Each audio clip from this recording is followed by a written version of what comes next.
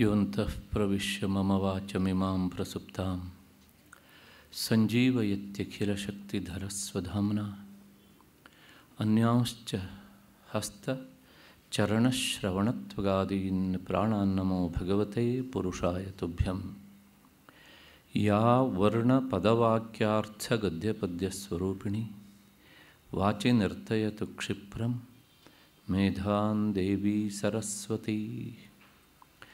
मन्दस्मितं स्फुरितमुग्धमुखारविन्दं कन्दर्पकोटिशतसुन्दरदिव्यमूर्तिम् आताम्रकोमलजटाघटितेन्दुरेखम् आलोकये वटतटीनिलयं दयाळुम्। ॐ नमः प्रणवार्थाय शुद्धज्ञानैकमूर्तये निर्मलाय प्रशान्ताय दक्षिणामूर्तये नमः యస్యాంతో నాదిమధ్యం నహి కరచరణం నామగోత్రం న సూత్రం. నో నైవ వర్ణో నభవతి పురుషో నో నపుం సంచన స్త్రీ. నాకారో నోమికారో నహి జని మరణం నాస్తి పుణ్యంచ పాపం. నో తత్వం తత్వమేకం సహజ సమరసం. సద్గురుం తం నమామి. శ్రుతిస్మృతిపురాణానాం ఆలయం.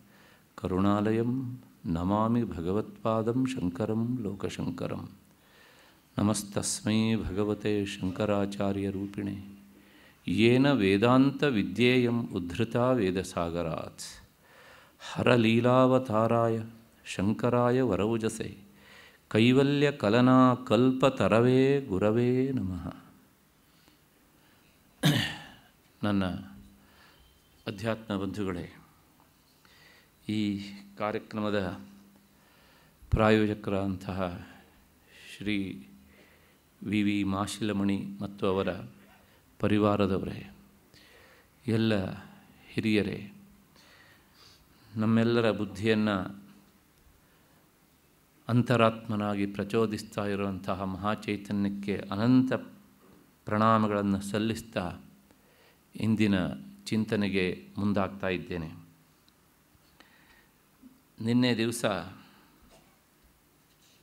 ಈ ಐದನೆಯ ಶ್ಲೋಕದ ಚಿಂತನೆಯನ್ನು ನಾವು ಮಾಡಿದ್ದೇವೆ. ದೇಹಂ ಪ್ರಾಣಂ ಅಪೀಂದ್ರಿಯಾಣ್ಯಪಿ ಚಲಾಂ ಎನ್ನುವಂಥದ್ದನ್ನು.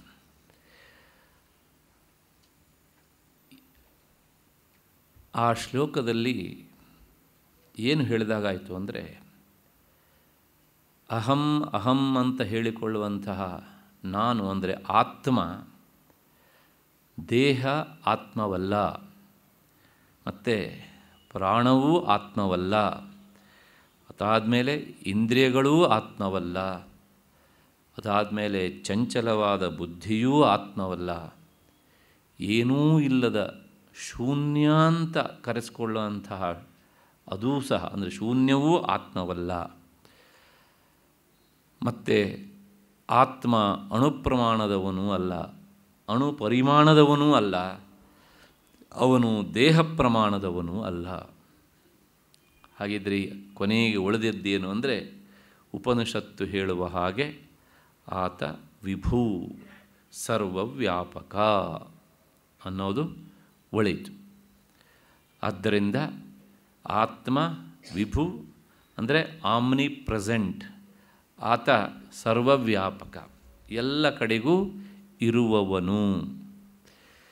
ಯಾವಾಗ ನಾವು ಆತ್ಮ ವಿಭು ಅಂತ ಹೇಳ್ತೇವೋ, ಆಗ ಒಬ್ಬನೇ ಆತ್ಮ ಇರೋದಕ್ಕೆ ಸಾಧ್ಯನೇ ಅಷ್ಟೇ ಹೊರತು ಅನಂತ ಆತ್ಮರು ಇರುವುದಕ್ಕೆ ಸಾಧ್ಯ ಇಲ್ಲ.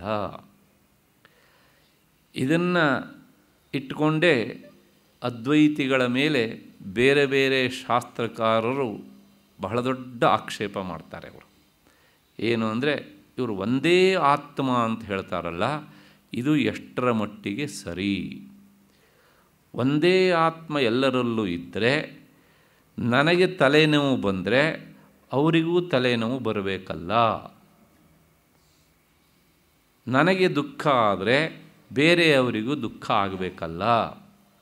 ನನಗೆ ಲಾಟ್ರಿ ತಾಗಿದರೆ ಎಲ್ಲರಿಗೂ ಲಾಟ್ರಿ ತಾಗಬೇಕಲ್ಲ. ಹಾಗಾಗಿ ಈ ಸಿಂಪಲ್ ಸತ್ಯ ಇವರಿಗೆ ಗೊತ್ತಾಗೋದಿಲ್ವಾ ಅಂತ ಅದ್ವೈತಿಗಳ ಮೇಲೆ ಎಲ್ಲರೂ ಆಕ್ಷೇಪ ಮಾಡ್ತಾರೆ. ಇದಕ್ಕೆ ಏನೋ ಬಹಳ ದೊಡ್ಡ ಆಕ್ಷೇಪ ಅನ್ನೋರ ತರಹ ಇದಕ್ಕೊಂದು ಸಿಂಪಲ್ ಆದ ಉತ್ತರ ಉಂಟು. ಬಹಳ ಕಷ್ಟದ ಉತ್ತರ ಏನೂ ಇಲ್ಲ. ಆತ್ಮ ಒಬ್ಬನೇ ಅಂತ ನಾವು ಹೇಳ್ತೇವೆ. ಆದರೆ ಆ ಆತ್ಮ ಮನಸ್ಸಿನಲ್ಲಿ, ಅಂದರೆ ಅಂತಃಕರಣದಲ್ಲಿ ಪ್ರತಿಫಲಿತನಾದಾಗ ಅವನಿಗೆ ಜೀವಾತ್ಮ ಅಂತ ಹೆಸರು. ಜೀವಾತ್ಮ ಒಬ್ಬನೇ ಅಂತ ಅದ್ವೈತಿಗಳು ಎಲ್ಲಿಯೂ ಹೇಳಲಿಲ್ಲ, ಹೇಳ್ತಾನೂ ಇಲ್ಲ, ಮುಂದೂ ಹೇಳೋದಿಲ್ಲ. ಆದ್ದರಿಂದ ಜೀವಾತ್ಮರು ಬೇರೆ ಬೇರೆಯೇ ಹಾಗಾಗಿ ನಿಮಗೆ ಬಂದ ತಲೆನೋವು ಇನ್ನೊಬ್ರಿಗೆ ಬರಬೇಕು ಅಂತ ಇಲ್ಲ. ನಿಮಗೆ ಹೊಟ್ಟೆ ತುಂಬಿದರೆ ಇನ್ನೊಬ್ರಿಗೆ ಹೊಟ್ಟೆ ತುಂಬಬೇಕು ಅಂತ ಇಲ್ಲ. ಇದು ಹೇಗೆ? ತುಂಬ ಸಲ ಹೇಳಿದ್ದೇನೆ ಇದನ್ನು. ಆದರೂ ಮತ್ತೆ ಮತ್ತೆ, ಯಾಕೆಂದರೆ ಕೆಲವು ಜನ ಹೊಸದಾಗಿ ಒಂದು ಸೇರಿಕೊಂಡವ್ರಿಗೆ ಏನೋ ಇಷ್ಟನ್ನು ಹೇಳಿಬಿಟ್ಬಿಟ್ರಲ್ಲ ಅಂತ ಅನಿಸುತ್ತೆ ಅದಕ್ಕೋಸ್ಕರ. ಒಂದೇ ಮನೆಯಲ್ಲಿ ನಾಲ್ಕು ಕೊಠಡಿಗಳಿದ್ದರೆ ಆ ನಾಲ್ಕು ಕೊಠಡಿಯ ಒಳಗೂ ಹೊರಗೂ ಸಹ ಆಕಾಶ ಇರುತ್ತೆ. ಆದರೆ ಆ ಮನೆಯ ಒಳಗಿರೋಂಥ ಕೊಠಡಿ ಯಾವ ಆಕಾರದಲ್ಲಿರುತ್ತೋ ಅಲ್ಲಿರುವ ಆಕಾಶ ಅದೇ ಆಕಾರದಲ್ಲಿರುತ್ತೆ. ಹಾಗಾಗಿ ಅದ್ವೈತಿಗಳು ಹೇಳುವಂಥ ಜೀವಾತ್ಮ ಅಂತಃಕರಣ ಉಪಾಧಿಕನಾದ್ದರಿಂದ ಅಂತಃಕರಣ ಪ್ರತಿ ಶರೀರದಲ್ಲೂ ಬೇರೆ ಬೇರೆ ಆಗಿರುವುದರಿಂದ ಆವಾವ ಅಂತಃಕರಣದ ಸುಖ ದುಃಖ ಅಲ್ಲಿನ ಜೀವಾತ್ಮನಿಗೆ ತೋರ್ತದೆ. ಅದು ಅಂತಃಕರಣದ ಧರ್ಮ. ಪರಮಾತ್ಮ ಅಂತಃಕರಣದ ಹೊರಗೂ ಸಹ ಇರೋನಾದ್ದರಿಂದ ಅವನು ಒಬ್ಬನೇ. ನಾನು ಹಿಂದೆ ಒಂದು ಉದಾಹರಣೆ ಕೊಟ್ಟಿದ್ದೇನೆ. ಒಂದೇ ಚಂದ್ರ ಆಕಾಶದಲ್ಲಿ ಇರ್ತಾನೆ. ಕೆಳಗಡೆಗೆ ಒಂದು ಹತ್ತು ಪಾತ್ರವನ್ನು ಇಡೋಣ. ಒಂದೊಂದು ಪಾತ್ರದ ನೀರಿಗೆ ಬೇರೆ ಬೇರೆ ಬಣ್ಣವನ್ನು ಮಿಶ್ರಣ ಮಾಡಿದರೆ ಆಗೇನಾಗುತ್ತೆ ಕೇಳಿದರೆ ಎಲ್ಲ ಪಾತ್ರೆಯಲ್ಲಿರುವ ನೀರಿನ ಬಣ್ಣ ಬೇರೆ ಬೇರೆ. ಈಗ ಅಲ್ಲಿ ಪ್ರತಿಬಿಂಬ ಬೀಳತ್ತೆ. ಪ್ರತಿಬಿಂಬ ಬಿದ್ದಾಗ ಒಂದೊಂದು ಪಾತ್ರೆಯಲ್ಲಿ ಬಿದ್ದ ಪ್ರತಿಬಿಂಬದ ಬಣ್ಣವೂ ಬದಲಾದಂತೆ ತೋರುತ್ತೋ ಇಲ್ವೋ? ತೋರುತ್ತೆ. ಹಾಗೆ ಒಂದು ಪಾತ್ರೆಯನ್ನು ಅಲ್ಲಾಡಿಸಿದರೆ ಅಲ್ಲಿನ ಪ್ರತಿಬಿಂಬ ಅಲ್ಲಾಡುತ್ತೋ ಇಲ್ವೋ? ಆದರೆ ಈ ಬದಲಾವಣೆ ಬಣ್ಣದ ಬದಲಾವಣೆ ಆಗಲಿ, ಆ ಕಂಪನವಾಗಲಿ ಬಿಂಬದಲ್ಲಿ ಏನಾದರೂ ಆಗತ್ತೋ ಹೇಗೆ? ಇಲ್ಲ. ಆದ್ದರಿಂದ ಉಪನಿಷದ್ವಾದಿಗಳಂಥ ಅದ್ವೈತಿಗಳು ಹೇಳುವಂತಹ ಈ ವಿಚಾರದಲ್ಲಿ ಯಾವುದೇ ಗೊಂದಲ ಇಲ್ಲವೇ ಇಲ್ಲ.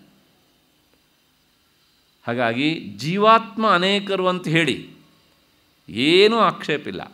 ಯಾಕೆಂದರೆ ದೇಹದಲ್ಲಿ ಅಭಿಮಾನ ಇಟ್ಟಂಥವನು ಅವನು. ಅಂತಃಕರಣದಲ್ಲಿ ಅಭಿಮಾನವನ್ನು ಇಟ್ಟವನು. ಆದರೆ ಪರಮಾತ್ಮ ಆತ್ಮ ಒಬ್ಬನೇ. ಯಾಕೆಂದರೆ ಅವನು ವಿಭು. ಜೀವಾತ್ಮ ಅವನಿಗಿಂತ ಬೇರೆ ಅಲ್ಲ, ಆದರೆ ಅಂತಃಕರಣದಿಂದ ಬೇರೆ ಆದಂತೆ ತೋರ್ತಾನೆ.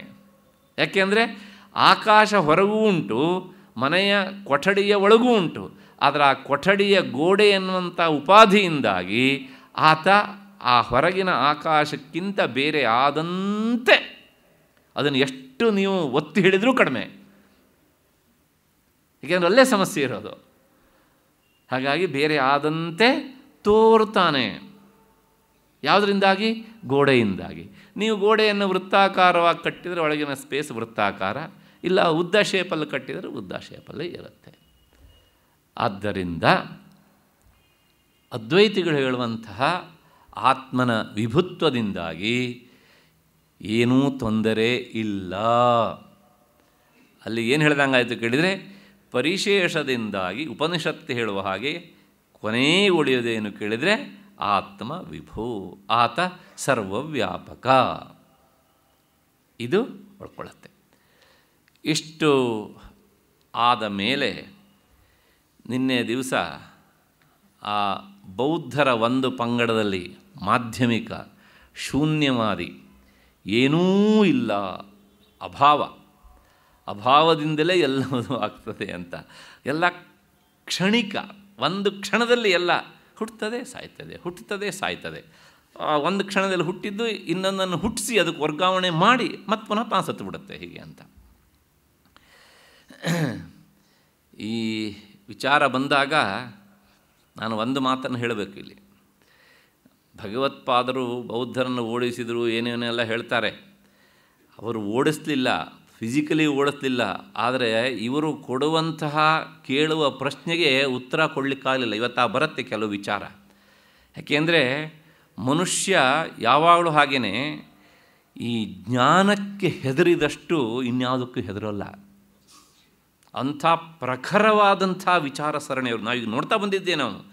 ಪ್ರಾಯಶಃ ಇನ್ನು ಯಾವ ಶಾಖೆಯಲ್ಲೂ ಸಹ ನಾವು ಇಷ್ಟು ಆಳವಾದ ವಿಚಾರವನ್ನು ನೋಡಲಿಕ್ಕಾಗೋದಿಲ್ಲ. ಹೆಜ್ಜೆ ಹೆಜ್ಜೆಗೂ ಸಹ ವಿಚಾರ ವಿಚಾರ ವಿಚಾರ. ಅದು ಹೇಗೆ ಕೇಳಿದರೆ ಶ್ರುತಿಯ ಹಿನ್ನೆಲೆಯಲ್ಲಿ. ಆ ಯುಕ್ತಿ, ತರ್ಕ ಶ್ರುತಿಗೆ ಪೂರಕವಾಗಿರುತ್ತೆ. ಅದು ಅದರ ಸ್ಪೆಷಾಲಿಟಿ ಹೀಗೆ ಅಂತ.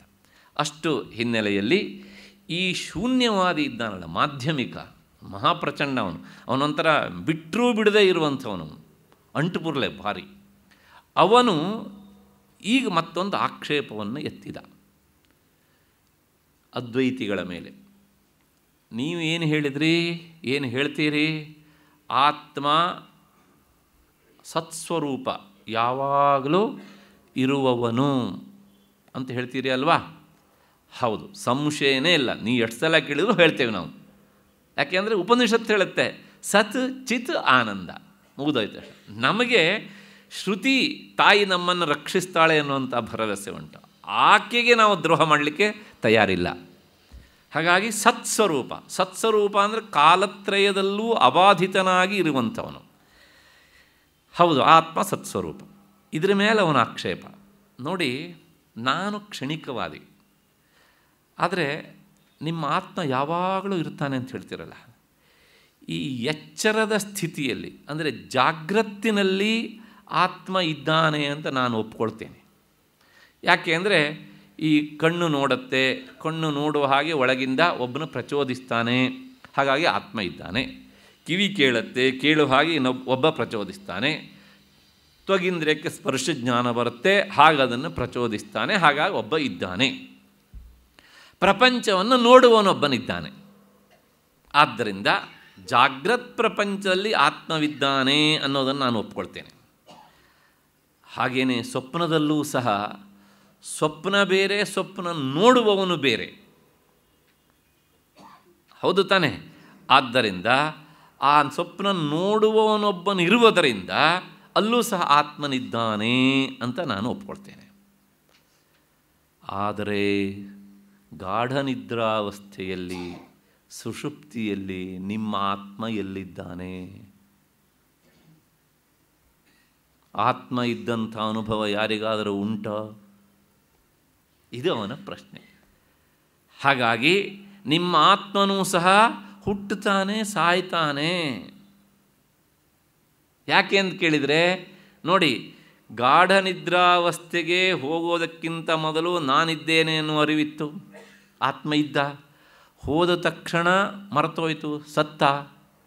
ಮತ್ತು ಪುನಃ ಎಚ್ಚರ ಆದ ತಕ್ಷಣ ಅರಿವು ಬಂತು, ಮತ್ತೆ ಹುಟ್ಟಿದ. ಆದ್ದರಿಂದ ಆತ್ಮನೂ ಸಹ ಹುಟ್ಟುತ್ತಾನೆ, ಸಾಯ್ತಾನೆ. ಎಲ್ಲವುದು ಕ್ಷಣಿಕವೇ. ಗಾಢ ನಿದ್ರಾವಸ್ಥೆಯಲ್ಲಿ ಆತ್ಮ ಇಲ್ಲವೇ ಇಲ್ಲ. ಆ ಕೊನೆ ನಿದ್ರಾವಸ್ಥೆ ಮುಗಿತಾ ಮುಗಿತಾ ಇರುವಾಗ ಅವನು ಹುಟ್ಟುಬಿಡ್ತಾನೆ ಮತ್ತೆ. ಚೆನ್ನಾಗಿದೆ ಅಂತಾರೆ, ಎಲ್ ಕೆ ಜಿ ಮಕ್ಕಳು ಹೇಳ್ದಂಗೆ.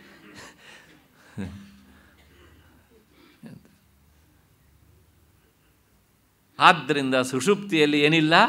ಆತ್ಮ ಇಲ್ಲ. ಇದು ಅವನ ತಕ್ರ.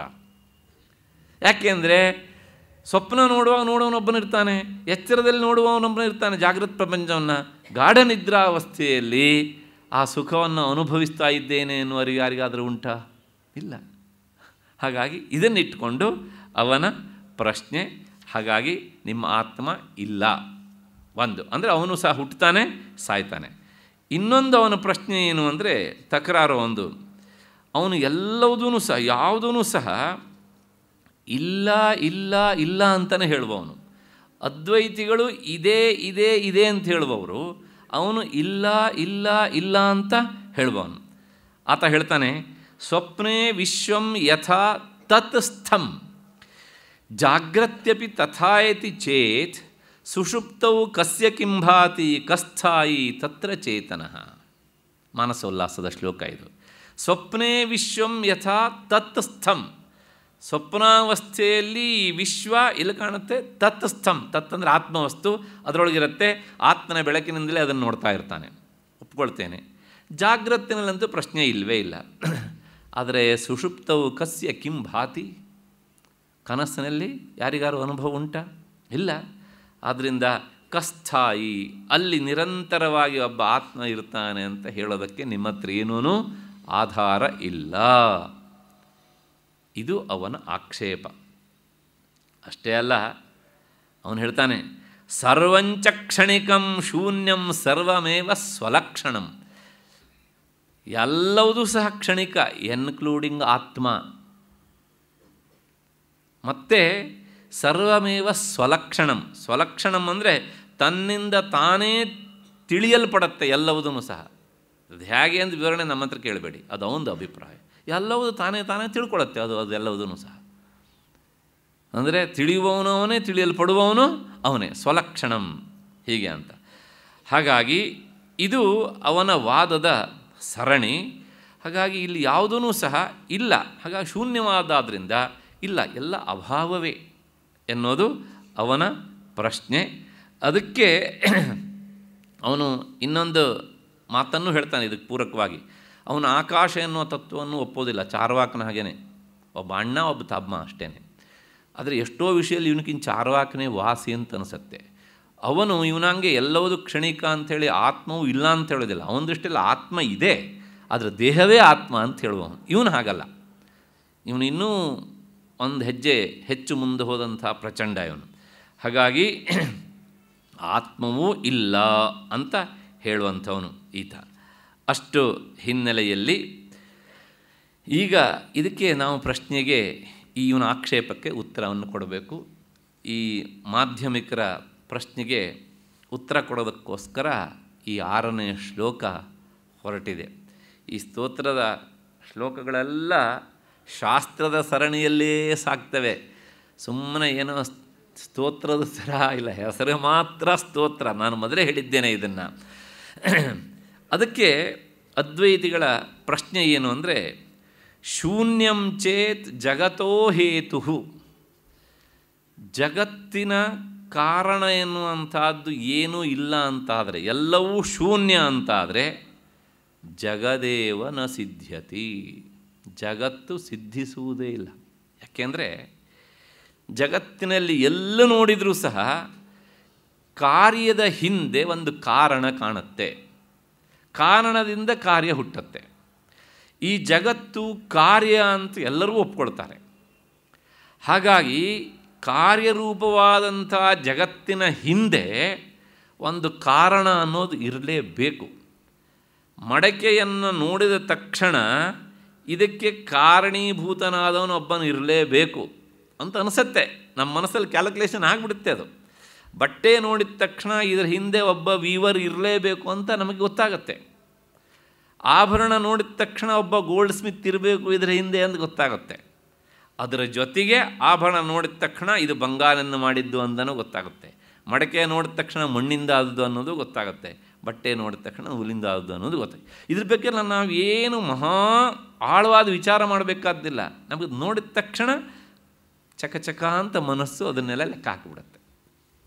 ಹಾಗೆಯೇ ನೀನು ಶೂನ್ಯ ಶೂನ್ಯ ಅಂತ ಹೇಳಿದರೆ ಯಾವುದೂ ಇಲ್ವಲ್ಲ. ಆಗ ಜಗತ್ತಿನ ವ್ಯವಹಾರ ಹೇಗುಂಟು ಕೇಳಿದರೆ ಎಲ್ಲವೂ ಇದೇ ಇದೇ, ಇದೆ ಅಂತ. ಕೂರ್ಚೆ ಇದೆ, ಟೇಬಲ್ ಇದೆ, ಹೌದು ತಾನೆ, ನಾನಿದ್ದೇನೆ, ನೀನಿದ್ದೇನೆ ಅಂತ ಎಲ್ಲರೂ ಹೇಳ್ತೇವೆ. ಆದರೆ ಶೂನ್ಯ ಅಂದ್ರೇನು ಅಭಾವ? ಅಭಾವ ಅಂದ್ರೇನು ಇಲ್ಲದ್ದು? ಆಗ ಯಾವ ವಸ್ತು ನೋಡಿದರೂ ಸಹ ಚೇರ್ ಇಲ್ಲ ಮೈಕ್ ಇಲ್ಲ ಟೇಬಲ್ ಇಲ್ಲ ಇಲ್ಲ ಅನ್ನೋದನ್ನು ಶುರು ಮಾಡಬೇಕು. ಯಾರಾದರೂ ಮಾಡ್ತಾರಾ? ಒಬ್ಬ ಹಳ್ಳಿಯ ಗಮಾರನ್ನು ಸಹ ಹೀಗೆ ವ್ಯವಹಾರ ಮಾಡಲಾರ? ಇಲ್ಲ ಇಲ್ಲ ಇಲ್ಲ ಅಂತ. ಆಗತ್ತಾ? ಇಲ್ಲ. ಆದ್ದರಿಂದ ಘಟಶೂನ್ಯ, ಪಟಶೂನ್ಯ ಇತಿ ಕೈ ಪ್ರತಿಪಾದ್ಯತೆ. ಎದುರಿಗೆ ಮಡಿಕೆ ಇದೆ, ಮಡಿಕೆ ಇಲ್ಲ. ಬಟ್ಟೆ ಇದೆ, ಬಟ್ಟೆ ಇಲ್ಲ. ಅಲ್ಲಿಗೆ ಯಾವ್ಯಾವ್ದು ಇದೆಯೋ ಅದೆಲ್ಲವನ್ನು ಇಲ್ಲ ಇಲ್ಲ ಅಂತ ಶುರು ಮಾಡಬೇಕು. ಲೋಕದಲ್ಲಿ ಎಲ್ಲರೂ ಇಂಥ ವ್ಯವಹಾರ ಕಂಡಿದೆಯಾ?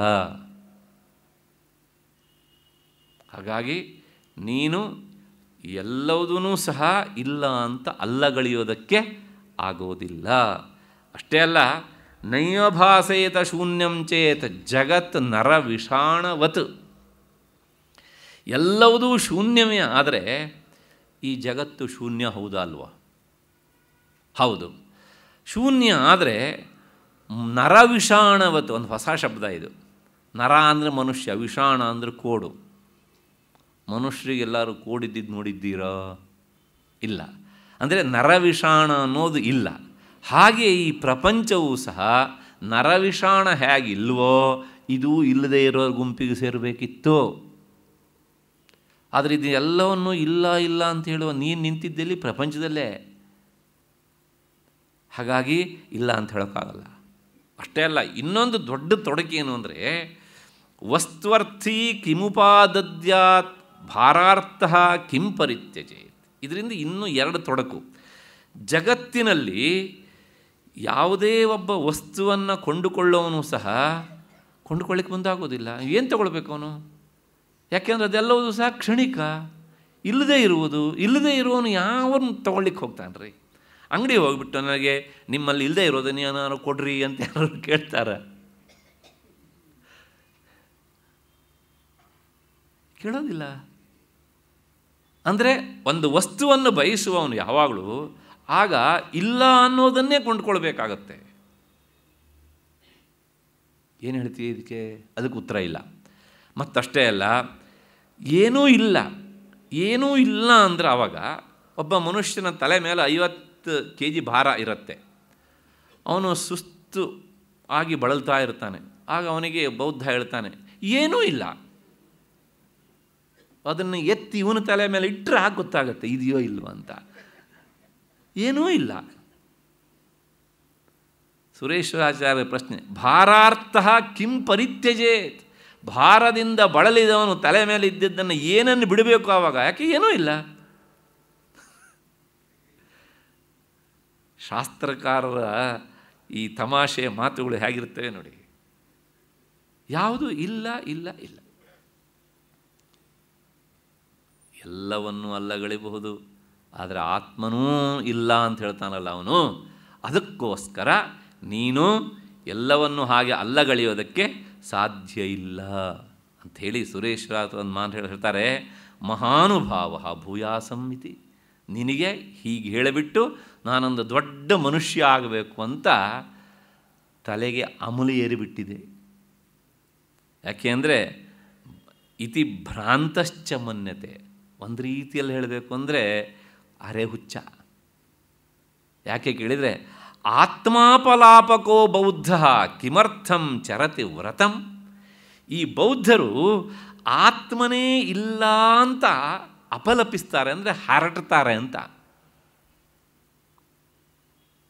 ಈ ಒಂದು ಪ್ರಶ್ನೆ, ಬೌದ್ಧರಲ್ಲೂ ಸನ್ಯಾಸಿಗಳಿದ್ದಾರೋ ಇಲ್ಲ? ಅವರು ಪೂಜೆ ಪುನಸ್ಕಾರ ಮಾಡ್ತಾರೋ ಇಲ್ಲೋ?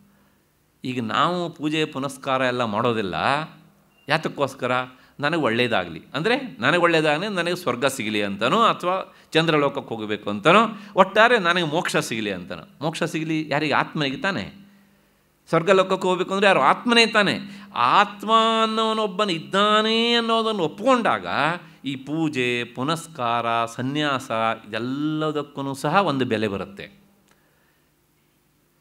ಯಾವುದೂ ಇಲ್ಲ ಅಂತಾದಾಗ ಇವರು ಮಾಡುವ ಪೂಜೆ ಯಾವುದಕ್ಕಾಗಿ? ಇವರು ಮಾಡುವ ದಾನ ಧರ್ಮ ಯಾವುದಕ್ಕಾಗಿ? ಇವರು ಸನ್ಯಾಸ ಸ್ವೀಕಾರ ಮಾಡೋದು ಯಾವುದಕ್ಕೋಸ್ಕರ? ಸನ್ಯಾಸ ಸ್ವೀಕಾರ ಮಾಡೋ ಆತ್ಮ ಸಾಕ್ಷಾತ್ಕಾರಕ್ಕೋಸ್ಕರ? ಆತ್ಮನೂ ಇಲ್ಲದೆ ಇದ್ದಾನೆ ಮತ್ತು ಇವ್ರಿಗೆ ಸನ್ಯಾಸ ಯಾಕ್ರಿ? ವಿಚಾರ ಮಾಡಿ, ಇಡೀ ಕರ್ಮಕಾಂಡದ ನೆಲೆ ಇರೋದೇ ಆತ್ಮನ ಅಸ್ತಿತ್ವವನ್ನು ಒಪ್ಪಿಕೊಂಡು ಅವನೊಬ್ಬನ ಇಲ್ಲ ಅಂತಾದರೆ ನಾವು ಮಾಡುವ ಯಾವ ಕರ್ಮಕ್ಕೂ ಹುರುಳೇ ಇಲ್ಲ, ತಿರುಳೇ ಇಲ್ಲ. ಆದ್ದರಿಂದ ನಮಗಿದು ಗೊತ್ತೇ ಆಗೋದಿಲ್ಲ. ನಾನು ಮೊನ್ನೆ ಹೇಳಿದ್ದೀನಿ ಇಲ್ಲಿ ಎಲ್ಲವುದೂ ಇರುತ್ತೆ. ಆದರೆ ಇದೆಲ್ಲ ವಸ್ತುವನ್ನು ನಾವು ನೋಡ್ತೇವೆ, ಜ್ಞಾಪಿಸಿಕೊಳ್ತೇವೆ. ಆದರೆ ಯಾವ ಈ ಎಲ್ಲ ವಸ್ತುಗಳು ಯಾವುದರ ಹಿನ್ನೆಲೆಯಿಂದ ಕಾಣ್ತಾ ಇರ್ತವೋ ಅದನ್ನು ನಾವು ಮರೆತು ಬಿಡ್ತೇವೆ ಆತ್ಮ ಅನ್ನೋನೊಬ್ಬನಿಲ್ಲ ಅಂತಾದರೆ ನಾವು ಮಾಡುವ ಯಾವ ಕ್ರಿಯೆಗೂ ಅರ್ಥವೇ ಇಲ್ಲ, ಎಲ್ಲ ವ್ಯರ್ಥವೇ. ಹಾಗಾಗಿ ಬೌದ್ಧರನ್ನು ಕೇಳಬೇಕಾಗತ್ತೆ, ಸನ್ಯಾಸ ಯಾರಿಗೋಸ್ಕರ? ಇಲ್ಲದೆ ಇರೋ ಆತ್ಮನಿಗೋಸ್ಕರನ? ಮತ್ತೆ ಯಾಕೆ ಬೇಕು? ಪೂಜೆ ಪುನಸ್ಕಾರ, ಅದು ಸಹ ವ್ಯರ್ಥ.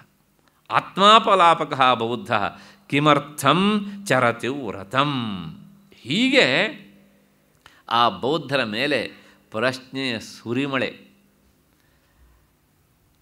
ಇಷ್ಟೆಲ್ಲ ಕೇಳಿ ಆದಮೇಲೆ ಈಗ ಆತ್ಮ ಇಲ್ಲ ಅಂತ ಹೇಳಿದೆಲ್ಲ, ಯಾವ ಅವಸ್ಥೆಯಲ್ಲಿ? ಗಾಢ ನಿದ್ರಾವಸ್ಥೆಯಲ್ಲಿ ಅಲ್ಲೂ ಸಹ ಆತ್ಮನಿದ್ದಾನೆ ಅನ್ನೋದಕ್ಕೋಸ್ಕರ ಈ ಶ್ಲೋಕ ಹೊರಟಿದೆ. ಅದಕ್ಕೆ ಈ ಶ್ಲೋಕ ಉತ್ತರವನ್ನು ಹೇಳುತ್ತೆ. राहुग्रस्तदिवाकरेन्दुसदृशो मया समाच्छादनात्। सन्मात्रः करणोपसंहरणतो योऽभूत् सुषुप्तः पुमान्। प्रागस्वाप्समिति प्रबोधसमये यः प्रत्यभिज्ञायते। तस्मै श्रीगुरुमूर्तये नम इदम्। ಶ್ರೀದಕ್ಷಿಣಾಮೂರ್ತಯೇ.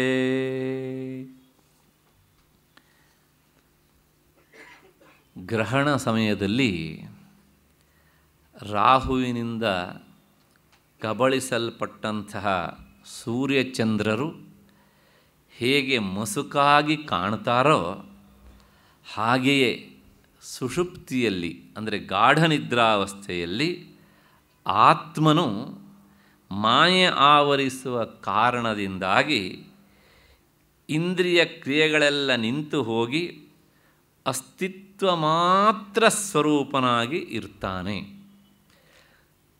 ಮತ್ತೆ ಎಚ್ಚರವಾದಾಗ ಈ ಹಿಂದೆ ನಾನು ಚೆನ್ನಾಗಿ ನಿದ್ರೆ ಮಾಡಿದೆ ಅಂತ ತನ್ನ ಅನುಭವವನ್ನು ಜ್ಞಾಪಿಸಿಕೊಳ್ತಾನೆ. ಇಂತಹ ಗುರುಮೂರ್ತಿಯಾದಂಥ ದಕ್ಷಿಣಾಮೂರ್ತಿಗೆ ನನ್ನ ನಮಸ್ಕಾರ. ಅಷ್ಟೆ. ಸುಷುಪ್ತಿಯಲ್ಲಿ ಆತ್ಮ ಇಲ್ಲ ಅಂತ ಹೇಳಿದ್ನಲ್ಲ, ಆತ್ಮ ಇರ್ತಾನೆ ಅನ್ನೋದನ್ನು ಇದು ಹೇಳುತ್ತೆ. ಹಾಗೆ, ರಾಹುಗ್ರಸ್ತ ದಿವಾಕರೆ ಎಂದು ಸದೃಶಃ. ನಾವೆಲ್ಲರೂ ದೇವಾಲಯಕ್ಕೆ ಹೋಗ್ತೇವೆ. ದೇವಾಲಯಕ್ಕೆ ಹೋಗಿ ಮುಖ್ಯ ದೇವರಿಗೆ ನಮಸ್ಕಾರ ಮಾಡೋದನ್ನು ಮರೆತ್ರೂ ಹೊರಗಡೆ ನವಗ್ರಹ ಮಂಟಪದಲ್ಲಿ ಇರ್ತಾವಲ್ಲ, ಅವರಿಗೆ ನಮಸ್ಕಾರ ಹಾಕೋದನ್ನು ನಾವು ಮರೆಯೋದಿಲ್ಲ. ಯಾಕೆಂದರೆ ಎಲ್ಲರಿಗೂ ಈ ರಾಹು, ಶನಿ ಇವರ ಕಾಟ ಜಾಸ್ತಿ. ಅಲ್ವಾ? ಸಾಲದಕ್ಕೆ ನಮ್ಮ ಜ್ಯೋತಿಷಿಗಳು ಹಾಗೆ ಹೋಗಿ ನಾಲ್ಕು ರೌಂಡ್ ಹೊಡೀರಿ ಅಲ್ಲಿ ಅಂತಾರೆ. ಹೊಡಿತಾರೆ ಅಂತ. ಮೂಲದೇವರ ವಿಚಾರ ಅದು ಕೇಳಬೇಡಿ. ಪರವಾಗಿಲ್ಲ. ಹಾಗೆ ಈ ರಾಹು ಅಂದರೆ ಯಾರು ಅಂದರೆ ವಾಸ್ತವಿಕವಾಗಿ ಭೂಮಿಯ ನೆರಳು ಆ ಗ್ರಹ ಹಾಗಾಗಿ ಅದನ್ನು ಜ್ಯೋತಿಷಿಯಲ್ಲಿ ಛಾಯಾಗ್ರಹ ಅಂತ ಕರೀತಾರೆ. ಛಾಯಾ ಅಂದರೆ ನೆರಳು. ಅಲ್ವಾ? ಹಾಗಾಗಿ ಈ ನೆರಳು ಅಂದರೆ ರಾಹು ಅನ್ನುವಂಥ ನೆರಳು ನಮ್ಮವರು ಗೊಡ್ಡ ಪಂಡಿತರಲ್ಲ, ಬಹಳ ಹಿಂದೆನೇ ಇದನ್ನು ಹೇಳಿದ್ದಾರೆ ವರಾಹಮೀರ ಅವತ್ತೇ ಹೇಳಿದ ಈ ಮಾತನ್ನು. ವಿಜ್ಞಾನಿಗಳೇನೋ ಹಾಗೆ ಹೇಳಿಬಿಟ್ರು, ರಾಹು, ಕೇತು ಕಬಳಿಸ್ತಾರೆ ಹೀಗೆ ಅಂತ. ಪುರಾಣ ಹಾಗೆ ಹೇಳುತ್ತೆ. ಆದರೆ ಸಂಸದ ಶಾಸ್ತ್ರಜ್ಞರು ಹಾಗೆ ಹೇಳೋದಿಲ್ಲ. ಪುರಾಣ ಯಾಕೆ ಹೇಳುತ್ತೆ ಅಂದರೆ, ಒಂದು ಕಥೆಯ ಹಿನ್ನೆಲೆಯಲ್ಲಿ ಹೇಳಿದಾಗ ಅದು ಚಿರಸ್ಥಾಯಿಯಾಗಿ ಇರುತ್ತೆ ಅಂತ.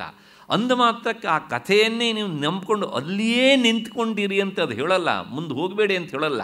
ನಾವೇನು ಮಾಡ್ತೀವಿ? ಹಾಂ, ಗೊತ್ತಾಯ್ತಲ್ಲ, ಇಲ್ಲೇ ನಿಂತ್ಕೊಳ್ಳೋಣ ಅಂತ ನಿಂತು ಬಿಡ್ತೀವಿ. ನಮ್ಮ ವಿಚಾರಕ್ಕೆ ನಾವೇ ಬೇಲಿ ಹಾಕ್ಕೊಂಡು, ನಾನು ಬೇಲಿ ಹಾಕ್ಕೊಂಡೆ ಅಂತ ಸಂತೋಷಪಟ್ಟರೆ ಯಾರು ತೆಗಿಬೇಕು ಈ ಬೇಲಿನ? ಆದ್ದರಿಂದ ಪುರಾಣ ಹಾಗೆ ಹೇಳುತ್ತೆ, ನಮಗೆ ಅರ್ಥ ಆಗಲಿ ಅನ್ನೋ ಹಿನ್ನೆಲೆಯಲ್ಲಿ ಅಷ್ಟೇ ಹಾಗಾಗಿ ರಾಹು ಮತ್ತು ಈ ಕೇತುಗಳು, ಅವರು ಗ್ರಹಣ ಕಾಲದಲ್ಲಿ ಸೂರ್ಯಚಂದ್ರನನ್ನು ಕಬಳಿಸ್ತಾರೆ, ಖಗ್ರಾಸ ಗ್ರಹಣ ಅಂತ ನಾವು ಹೇಳ್ತೇವಲ್ಲ. ಅಂದರೆ ಭೂಮಿಯ ನೆರಳು ಬಿದ್ದಾಗ ಸೂರ್ಯಚಂದ್ರರು ಕಾಣುವುದಿಲ್ಲ. ಆ ಗ್ರಹಣದ ಪ್ರಕ್ರಿಯೆ ಬೇರೆ, ನಮಗೆ ಅಷ್ಟೆಲ್ಲ ಬೇಡ. ಆಗ ಏನಾಗುತ್ತೆ ಕೇಳಿದರೆ, ಗ್ರಹಣಕ್ಕಿಂತ ಮೊದಲು ಸೂರ್ಯನನ್ನು ನಾವು ನೋಡ್ತೇವೆ. ಗ್ರಹಣದಿಂದ ಬಿಡುಗಡೆ ಆದಮೇಲೂ ಸಹ ಸೂರ್ಯನನ್ನು ನಾವು ನೋಡ್ತೇವೆ. ಆದರೆ ಗ್ರಹಣ ಹಿಡಿದ ಕಾಲದಲ್ಲಿ ನಾವು ಸೂರ್ಯನನ್ನಾಗಲಿ ಚಂದ್ರನನ್ನಾಗಲಿ ನೋಡೋದಿಲ್ಲ. ಈಗ ಪ್ರಶ್ನೆ ಇಷ್ಟೇ, ಆಗ ಸೂರ್ಯ ಅಥವಾ ಚಂದ್ರ ಇರಲಿಲ್ಲ ಅಂತ ಹೇಳಬೇಕು, ಅಥವಾ ಇದ್ದರೂ ಕಾಣಲಿಲ್ಲ ಅಂತ ಹೇಳಬೇಕು. ಯಾಕೆಂದರೆ ಮೊದಲು ಇದ್ದ ಆಮೇಲೆ ಮತ್ತೆ ಪುನಃ ಕಾಣ್ತಾನೆ. ಆದ್ದರಿಂದ ಅವನು ಗ್ರಹಣ ಸಮಯದಲ್ಲೂ ಸಹ ಇದ್ದ. ಆದರೆ ನಮಗೆ ಆ ಗ್ರಹಣದಿಂದಾಗಿ, ಗ್ರಹಣ ಅಂದ್ರೇ ಮರೆಮಾಚೋದು ಹಿಡಿಯೋದು ಅಂತ ಅರ್ಥ.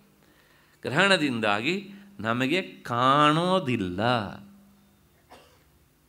ಅಂದ ಮಾತ್ರಕ್ಕೆ ಸೂರ್ಯ, ಚಂದ್ರ ಇಲ್ಲ ಅಂತ ಅರ್ಥ ಅಲ್ಲ. ರಾಹುಗ್ರಸ್ತ ದಿವಾಕರ ಇಂದು ಸದೃಶ. ದಿವಾಕರ ಅಂದರೆ ಸೂರ್ಯ, ಇಂದು ಅಂದರೆ ಚಂದ್ರ. ಇವರಿಬ್ಬರಿಗೆ ಸಮಾನನಾಗಿರುವ ಹಾಗೆ ಅಂತರ್ಥ ಏನು ಅಂದರೆ, ಮಾಯಾ ಸಮಾಚ್ಛಾದನಾಥ್ ಸೂರ್ಯ ಚಂದ್ರನನ್ನು ಆವರಿಸುವುದು ಛಾಯಾಗ್ರಹವಾದ ರಾಹುವೋ ಅಥವಾ ಕೇತು ಅಂತ ಅಂದ್ಕೊಳ್ಳಿ ಹಾಗೆ ಗಾಢನಿದ್ರಾವಸ್ಥೆಯಲ್ಲಿ ಆತ್ಮ ಇದ್ರೂ ಸಹ ಅವನ ಅರಿವು ನಾನಿದ್ದೇನೆ ಎನ್ನುವಂಥ ಅರಿವು ಬರದೇ ಇರುವ ಹಾಗೆ ಅವನನ್ನು ಮರೆಮಾಚಿದ್ಯಾವುದು ಕೇಳಿದರೆ, ಮಾಯಾ ಸಮಾಚ್ಛಾದನಾಥ್ ಅವನ ಮಾಯೆ. ಮಾಯೆ ಆತ್ಮನನ್ನೇ ಆಶ್ರಯಿಸಿಕೊಂಡಿರುವಂಥದ್ದು. ಅದಕ್ಕೆ ಸ್ವತಂತ್ರವಾದ ಅಸ್ತಿತ್ವ ಇಲ್ಲ. ಹೀಗೆ ತನ್ನ ಆಶ್ರಯದಿಂದಲೇ ಇರುವ ಮಾಯೆ ಆಗ ಆತ್ಮನನ್ನೇನು ಮಾಡುತ್ತೆ ಅಂದರೆ ಅದು ಆವರಿಸಿ ಬಿಡುತ್ತೆ. ಹಾಗಾಗಿ ಏನಾಗುತ್ತೆ ಕೇಳಿದರೆ ಆತ್ಮ ಆಗ ಬೆಳಗ್ತಾ ಇಲ್ಲ. ಬೆಳಗ್ತಾ ಇಲ್ಲ ಅಂದರೆ ವೃತ್ತಿಜ್ಞಾನದಿಂದ ಬೆಳಗ್ಗೆ ನಮಗೆ ಇಂದ್ರಿಯ ವಸ್ತುಗಳನ್ನು ತೋರಿಸ್ತಾ ಇಲ್ಲ. ಅಂದ ಮಾತ್ರಕ್ಕೆ ಆಗ ಅವನಿಗೆ ಜ್ಞಾನ ಒಳಗಡೆಯಿಂದ ಇಲ್ಲ ಅಂತ ಅರ್ಥ ಅಲ್ಲ. ಯಾಕೆ ಅಂದರೆ ಸ್ವಪ್ನ ಸಾರಿ ಗಾಢ ನಿದ್ರೆಯಿಂದ ಎದ್ದವನು, ಆಗ ಯಾವನಾದರೂ ಸಹ, ನಿದ್ದೆ ಮಾಡುವಷ್ಟೊತ್ತು ನಾನು ಇರಲಿಲ್ಲ ಅಂತ ಹೇಳ್ತಾನ? ಹಾಗೇನಾದರೂ ನಿದ್ದೆ ಮಾಡುವ ಕಾಲ ಅವನು ಇರೋದಿಲ್ಲ ಅಂತಾದರೆ ಯಾರೂ ನಿದ್ದೆನೇ ಮಾಡ್ತಾ ಇರಲಿಲ್ಲ. ಡಾಕ್ಟ್ರೇ, ನನಗೆ ನಿದ್ದೆ ಬರದೇ ಇರುವ ಗುಳಿಗೆ ಕೊಡಿ. ಯಾಕೆ, ನಿದ್ದೆ ಮಾಡಿದರೆ ನಾನಿರೋದಿಲ್ಲ ಹೇಳ್ತಿದ್ರ ಇಲ್ವಾ? ಲೋಕದಲ್ಲಿ ಅನುಭವ ಆಗುಂಟಾ ಇಲ್ಲ. ಆದ್ದರಿಂದ ಗಾಢನಿದ್ರಾವಸ್ಥೆಯಲ್ಲಿ ನಾವು ಎಲ್ಲರೂ ಹಾಯಾಗಿ ನಿದ್ದೆ ಮಾಡ್ತೇವೆ. ನಮಗೇನೂ ತೊಂದರೆ ಆಗೋದಿಲ್ಲ. ಎಚ್ಚರ ಆದ ಮೇಲೆ ನಿದ್ದೆ ಮಾಡುವಾಗಲೂ ನಾನು ಇದ್ದೆ ಅಂತ ಅಷ್ಟೇ ಅಲ್ಲ, ಸುಖವಾಗಿದ್ದೆ ಅನ್ನುವಂಥ ಅನುಭವ ಎಲ್ಲರಿಗೂ ಬರುತ್ತೆ. ಅಷ್ಟೇ ಅಲ್ಲ, ಇಷ್ಟು ಬೇಗ ನಿದ್ದೆ ಮುಗಿದೋಯ್ತಲ್ಲ ಅಂತ ಬೇಸರವೂ ಆಗತ್ತೆ. ಆದ್ದರಿಂದ ಆಗಲೂ ಸಹ ಆತ್ಮ ಇರಬೇಕು. ಅದನ್ನು ಹೇಗೆ ನೀವು ಪತ್ತೆ ಹಚ್ಚುತ್ತೀರಾ ಅಂತ ಕೇಳಿದರೆ ಅಲ್ಲೊಂದು ಶಬ್ದ ಉಂಟು. ಆಗ ನಿದ್ರೆ ಮಾಡುವ ಸಂದರ್ಭದೊಳಗೆ ಸಣ್ಣ ಮಾತ್ರ. ಸನ್ ಅಂದರೆ ಇಲ್ಲಿ ಇಂಗ್ಲೀಷ್ನ ಸನ್ ಅಲ್ಲ. ಎಸ್ ಯು ಯು ಸನ್ನು ಅಲ್ಲ, ಎಸ್ ಒ ಎನ್ ಸನ್ನೂ ಅಲ್ಲ. ಸತ್ ಅಂತ. ಸತ್ ಅಂದರೆ ಸತ್ ಯಾವಾಗಲೂ ಇರ್ಬೋದು. ಸ ಅಲ್ಲಿ ಮುಂದ್ಗಡೆ ಮಕಾರ ಇದ್ದದ್ರಿಂದ ಅದು ಅನುನಾಸಿಕ ಸಂಧಿಯಾಗಿ ಸತ್ ಮಾತ್ರ ಅಂತ ಇದ್ದಿದ್ದು ಸಣ್ಣ ಮಾತ್ರ ಅಂತ ಆಗಿದೆ.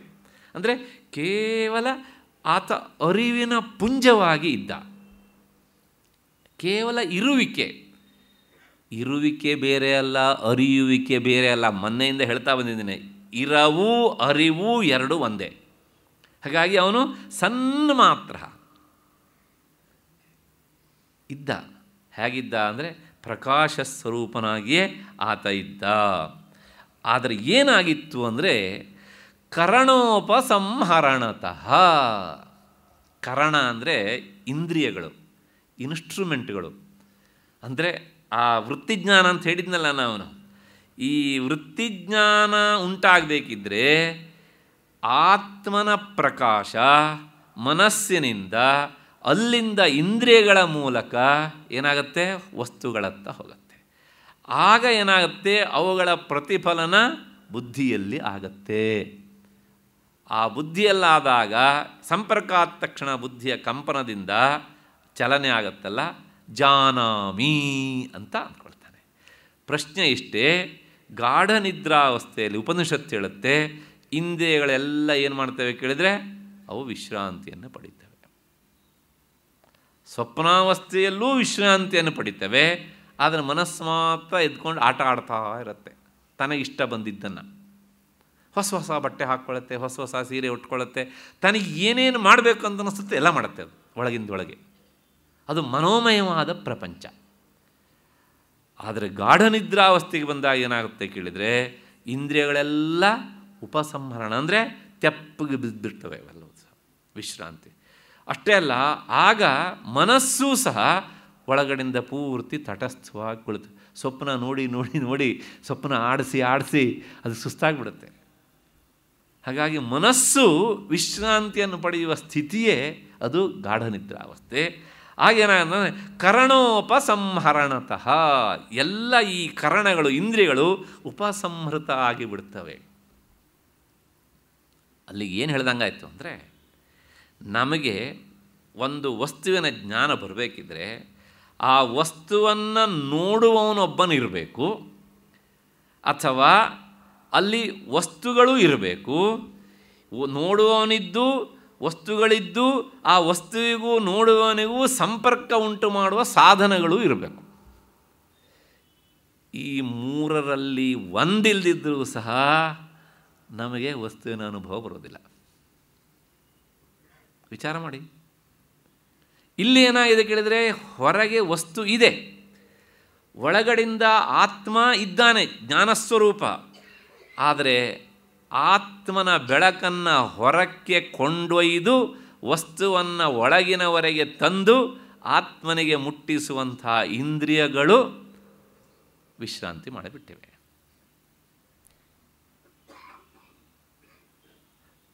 ಕರೆಂಟಿದೆ ಹೊರಗಡೆಗೆ. ಆ ಒಳಗಡೆ ಸ್ವಿಚ್ಚು ಎಲ್ಲವೂ ಸರಿ ಇದೆ. ಆದರೆ ಒಂದು ಕಡೆಗೆ ಆ ಮೇನ್ ಸ್ವಿಚ್ಚಲ್ಲಿ ಏನಾಗಿದೆ ಅಂದರೆ ಒಂದು ತಂತಿ ಕಟ್ಟಾಗಿಬಿಟ್ಟಿದೆ. ಅರ್ಥ ಆಗಲಿಕ್ಕೋಸ್ಕರ ಬೇಕಿದ್ರೆ ಐದು ತಂತಿ ಕಟ್ಟಾಗಿದೆ ಅಂತ ಹೇಳ್ಕೊಳ್ಳಿ, ಸ್ಪಷ್ಟ ಆಗುತ್ತೆ. ಯಾವುದು ಅಂದರೆ ಈ ಜ್ಞಾನೇಂದ್ರಿಯಗಳು ಎನ್ನುವಂಥ ತಂತಿಗಳು.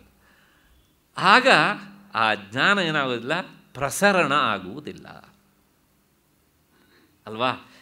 ಇನ್ನೂ ಮೊನ್ನೆ ಹೇಳಿದ್ದೆ ಜ್ಞಾಪಿಸ್ಬಿಡ್ತೇನೆ ಕೆರೆಯಲ್ಲಿ ನೀರಿದೆ. ಗದ್ದೆ ಇದೆ, ಆದರೆ ಕೆರೆಯಿಂದ ನೀರು ಹರಿದು ಬರಲಿಕ್ಕೆ ಕಾಲುವೆ ಪೂರ್ತಿ ಮುಚ್ಚಿ ಹೋಗಿದೆ. ಅಂದರೆ ಏನು ಹೇಳ್ದಂಗಾಯಿತು?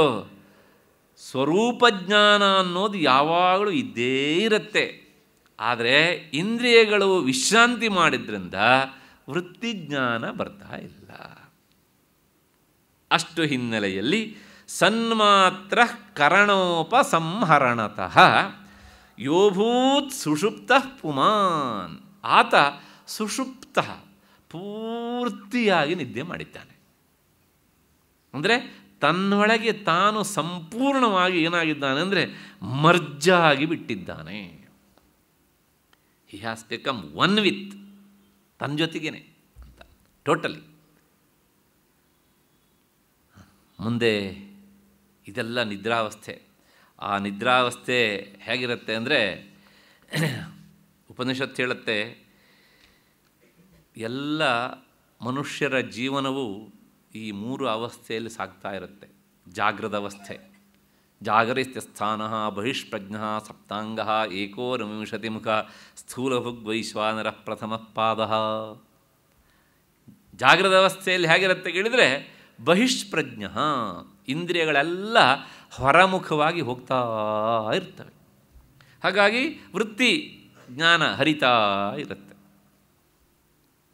ಆದರೆ ಸ್ವಪ್ನಕ್ಕೆ ಬಂದಾಗ ಇದು ಪೂರ್ತಿ ವಿರುದ್ಧ. ಸ್ವಪ್ನ ಸ್ಥಾನ ಅಂತಃಪ್ರಜ್ಞ ಸಪ್ತಾಂಗ ಏಕೋನವಿಂಶತಿ ಮುಖ ಪ್ರವಿವಿಕ್ತ ಭುಕ್ ಅಂದರೆ ಅಂತರ್ಮುಖವಾಗಿ ಬಿಡ್ತವೆ ಸ್ವಪ್ನ ಕಾಣಬೇಕಿದ್ರೆ ಅಲ್ಲಿ ನಾವು ನೋಡ್ತೇವಲ್ಲ ಆವಾಗ ಈ ಒಳಗೆ ಕಣ್ಣಿದೆಯಲ್ಲ, ಹೊರಮುಖ ನೋಡೋದಿಲ್ಲ ಒಳಗಿನಿಂದ ನೋಡ್ತಾ ಇರುತ್ತೆ. ಎಂಥ ಬ್ಯೂಟಿಫುಲ್ ಆದ ವಿವರಣೆ ನೋಡಿ. ಅಲ್ಲಿ ಏನೋ ಮಾತಾಡಿದ್ದು ಕೇಳಿಸ್ಕೊಳ್ತೇವೆ ನಾವು ಕನಸಲ್ಲಿ. ಕಿವಿ ಒಳಮುಖವಾಗಿ ಕೇಳಿಸ್ಕೊಳ್ತಾ ಇರುತ್ತೆ. ಆಮೇಲೆ ಏನೋ ಮೂಸ್ತೇವೆ, ಸಂಪಿಗೆ ಹೂವನ್ನಲ್ಲಿ. ಮೂವು ಒಳಗಡೆಯಿಂದ ಮೂಸ್ತಾ ಇರುತ್ತೆ. ಹೊರಗಡೆ ಎಲ್ಲಿದೆ ಸಂಪಿಗೆ ಹೂವು? ಅಲ್ವಾ?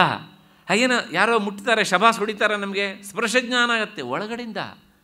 ಏನೋ ತಿಂತೇವೆ, ಈ ನಾಲ್ಗೆ ಅಲ್ಲ, ಅದು ಒಳಗಡೆಯಿಂದ. ಪ್ರಯುಕ್ತ ಬುಕ್. ಎಂಥ ವಿವರಣೆ? ಪೂರ್ತಿ ಒಳಮುಖವಾಗಿ ಬಿಡ್ತವೆ ಹೀಗೆ ಅಂತ. ಇದು ಸ್ವಪ್ನಾವಸ್ಥೆ. ಇನ್ನು ಮುಂದಕ್ಕೆ ಹೋದರೆ ಆ ಗಾಢನಿದ್ರಾವಸ್ಥೆಯನ್ನು ಎತ್ತರ ಸುಪ್ ವರ್ಣನೆ ಮಾಡುತ್ತೆ. ಎತ್ತರ ಸುಪ್ತೋನ ಕಂಚನ ಕಾಮಂ ಕಾಮಯತೆ. ಮನುಷ್ಯ ಕಾಮಿಸುವುದು, ಬಯಸುವುದು ಯಾವಾಗ ಅಂದರೆ ಜಾಗ್ರದ ಅವಸ್ಥೆಯಲ್ಲಿ ಆ ಗಾಢನಿದ್ರಾವಸ್ಥೆಯಲ್ಲಿ ಯಾರಿಗಾರು ಬೈಕೆ ಇದೆಯೋ? ನಾ ಹಾಯಾಗಿ ನಿದ್ದೆ ಮಾಡಬೇಕು ಅಂತ ನಿದ್ದೆ ಹೋಗೋಕ್ಕಿಂತ ಮೊದಲು ನಾವೆಲ್ಲ ಬಯಸ್ತೇವೆ. ಆದರೆ ನಿದ್ದೆ ಬಂದಾದ ಮೇಲೆ ಸ್ವಲ್ಪ ಟೆಸ್ಟ್ ಮಾಡ್ತೀನಿ ಇವಾಗ, ಹಾಯಾಗಿ ನಿದ್ದೆ ಬಂದಿದೆಯೋ ಅಂತ ನೋಡೋಣ, ತಾಳಿ ಅಂತ ಯಾರು ಹೇಳ್ಕೊಳ್ತಾರೋ? ಇಲ್ವಲ್ಲ? ಎತ್ತರ ಸುಪ್ತ ನ ಕಂಚನ ಕಾಮಂ ಕಾಮಯತೆ, ಯಾವುದೇ ಬಯಕೆ ಇಲ್ಲ. ಮತ್ತು ನ ಕಂಚನ ಸ್ವಪ್ನಂ ಪಶ್ಯತಿ, ಅಲ್ಲಿ ಒಳಗಡೆಯಿಂದ ಕನಸೂ ಇಲ್ಲ. ಹಾಗಿದ್ರೆ ಹೇಗಿರ್ತಾನೆ ಕೇಳಿದರೆ, ತತ್ ಸುಷುಪ್ತಂ ಅಂದರೆ ಕಾಮನೆಯೂ ಇಲ್ಲ, ಸ್ವಪ್ನವೂ ಇಲ್ಲ, ಈ ಸ್ಥಿತಿಯೇ ಸುಷುಪ್ತ ಸ್ಥಿತಿ ಅಂತ. ಸುಷುಪ್ತ ಸ್ಥಾನ ಏಕೀಭೂತ. ಆ ಸುಷುಪ್ತಿ ಹೇಗಿರುತ್ತೆ ಕೇಳಿದರೆ, ಏಕೀಭೂತ ಆತ್ಮ ಸಂಪೂರ್ಣವಾಗಿ ಆತ ಒಳಗೆ ಮರ್ಜಾಗಿ ಬಿಡ್ತಾನೆ ಎಲ್ಲಿಂದ? ಅಂತಃಕರಣದ ಒಳಗೆ. ಪೂರ್ತಿ ಅಲ್ಲಿಯೇ ಇರ್ತಾನೆ ಹೇಗೆ ಅಂತ. ಬೆಳಕೋ ಬೆಳಕು, ಇರವೋ ಇರವು. ಏಕೀಭೂತ ಅಂದರೆ ಯಾವ ಇಂದ್ರಿಯಗಳ ಮೂಲಕವೂ ಸಹ ವೃತ್ತಿಜ್ಞಾನ ರೂಪದಲ್ಲಿ ಹೊರಕ್ಕೆ ಹೋಗೋದಿಲ್ಲ. ಮತ್ತು ಮನಸ್ಸಿನ ಜೊತೆಗೂ ಸಂಪರ್ಕ ಇಲ್ಲ. ಪೂರ್ತಿಯಾಗಿ ಏಕೀಭೂತ. ಅದರಿಂದ ಏನಾಗ್ತದೆ ಅಂದರೆ ಪ್ರಜ್ಞಾನ ಘನ ಏವ. ಪ್ರಜ್ಞಾನ ಘನ ಏವ. ಜ್ಞಾನದ ಉಂಡೆ ಒಳಗಡೆಯಿಂದ ಆ ಘನ ಅನ್ನೋದಕ್ಕೆ ಒಂದು ವಿವರಣೆ ಕೊಡ್ತಾರೆ. ರಾತ್ರಿ ಕತ್ತಲು ಕವಿತದೆ ನೋಡಿ. ಕತ್ತಲನ್ನು ನೀವು ನೋಡಿದಾಗ, ಕತ್ತಲಲ್ಲಿ ನಿಂತು ನೋಡಿದಾಗ, ನಿಮ್ಮ ಎದುರಿಗೆ ಕತ್ತಲು ಕಾಣುತ್ತೆ. ಆದರೆ ಅದರಿಂದ ಒಂದು ಇಂಚಷ್ಟು ದೂರನೂ ಸಹ ನಿಮಗೆ ಕಾಣೋದಿಲ್ಲ. ಯಾಕಂದ್ರೆ ಅಲ್ಲೂ ಸಹ ಏನಿರುತ್ತೆ? ಕತ್ತಲು. ಹೆಚ್ಚೇಕೆ ನೀವು ನಿಂತಿದ್ದು ಸಹ ಕತ್ತಲು. ಜಾಗದಲ್ಲಿ ನಿಮ್ಮ ಹಿಂದೂ ಕತ್ತಲು, ನಿಮ್ಮ ಮುಂದೂ ಕತ್ತಲು, ನಿಮ್ಮ ಬಲಗಡಿಗೆ ಕತ್ತಲು, ನಿಮ್ಮ ಎಡಗಡಿಗೆ ಕತ್ತಲು, ಅದು ತಮೋ ಘನ.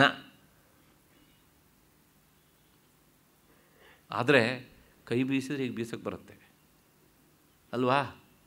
ಆದರೆ ತಿಕ್ಕಾಗಿರುವಾಗ ಕಾಣುತ್ತೆ. ಇಲ್ಲಿ ಹೇಗಿರುತ್ತೆ ಕೇಳಿದರೆ ಪ್ರಜ್ಞಾನ ಘನ. ಬರೀ ಜ್ಞಾನ. ಮತ್ತೆ ಹೇಗಿರ್ತಾನೆ? ಆನಂದಮಯ. ಆನಂದವೇ ಅಲ್ಲ ಆನಂದ ಪ್ರಾಯ ಆನಂದದಂತೆ ಅನುಭವಿಸ್ತಾ ಇರ್ತಾನೆ. ಯಾಕೆಂದರೆ ಪೂರ್ತಿ ಆನಂದ ಸ್ವರೂಪನೇ ಆಗಿಬಿಟ್ರೆ ಮತ್ತವನು ಜಾಗೃತ ಪ್ರಪಂಚಕ್ಕೆ ಬರೋದೇ ಇಲ್ಲ. ಯಾಕೆ ಅಂದರೆ, ನೋಡಿ ಇಲ್ಲೆಲ್ಲ ಸೂಕ್ಷ್ಮವಾದ ವಿಚಾರ. ನಾವು ನಿದ್ದೆ ಮಾಡ್ತೇವಲ್ಲ, ನಿದ್ದೆ ಮಾಡ್ತಾ ಇದ್ದು ಹಾಗೇ ನಿದ್ದೆನೇ ಮಾಡಿಕೊಂಡೇ ಇದ್ದು ಬಿಟ್ಟರೆ ಮತ್ತು ಯಾಕೆ ಎಚ್ಚರ ಆಗಬೇಕು? ಸರಿ, ಎಚ್ಚರ ಆಗಲಿಲ್ಲ. ನನಗೆ ಎಚ್ಚರ ಆಗಲಿಲ್ಲ ನನ್ನನ್ನು ಏಳಿಸಿ ಅಂತ ನಾವು ಹೇಳಕ್ಕೆ ಬರುತ್ತ? ಒಂದು ಕ್ಷಣ ವಿಚಾರ ಮಾಡಿ. ಒಬ್ಬ ಗಾಢ ನಿದ್ರಾವಸ್ಥೆಗೆ ಹೋದನು ಎಚ್ಚರ ಆಗಲಿಲ್ಲ. ನನಗೆ ಎಚ್ಚರ ಆಗಲಿಲ್ಲ, ಏಳಿಸ್ರಿ. ನಮಗೆ ಎಚ್ಚರ ಆಗುತ್ತಲ್ಲ? ಯಾಕೆ ಎಚ್ಚರ ಆಗುತ್ತೆ? ನಮ್ಮ ಪ್ರಾರಬ್ಧ ಕರ್ಮ ಮತ್ತೆ ತಳ್ಳುತ್ತೆ ನಮ್ಮನ್ನು. ಅದಕ್ಕೋಸ್ಕರ ಆನಂದಮಯ, ಅಂದರೆ ಅವನು ಆನಂದ ಪ್ರಾಯ ಅಂದರೆ ಆನಂದ ಸದೃಶ ಆಗಿಬಿಡ್ತಾನೆ. ಮತ್ತಷ್ಟೇ ಅಲ್ಲ, ಆನಂದ ಭುಕ್ ಆವಾಗ ಆತ ಅನುಭವಿಸ್ತಾನೆ. ಏನನ್ನ? ಆನಂದವನ್ನೇ ಭುಕ್, ಅಂದರೆ ಅನುಭವಿಸ್ತಾ ಇರ್ತಾನೆ ಒಳಗಿನಿಂದ. ಆದರೆ ಆ ಆನಂದವನ್ನು ಅನುಭವಿಸಿದ್ದನ್ನು ಹೊರಗಿನಿಂದ ನಾವು ಪ್ರಕಟಪಡಿಸೋಕ್ಕಾಗಲ್ಲ. ಯಾಕೆಂದರೆ ವೃತ್ತಿಗಳೆಲ್ಲ, ಇಂದ್ರಿಯಗಳೆಲ್ಲ ಏನಾಗಿವೆ? ಅವು ಉಪಸಮೃತ ಆಗಿಬಿಟ್ಟಿವೆ. ಅದರ ಒಳಗಿನಿಂದ ಆನಂದ ಭುಕ್. ಮತ್ತು ಅಷ್ಟೇ ಅಲ್ಲ ಚೇತೋಮುಖ ಚೇತೋಮುಖ ಅಂದರೆ ಚೇತಸ್ಸೆ ಬೆಳಕೆ ಮುಖವಾಗಿ ಇರುವವನು ಅಂತ ಅರ್ಥ.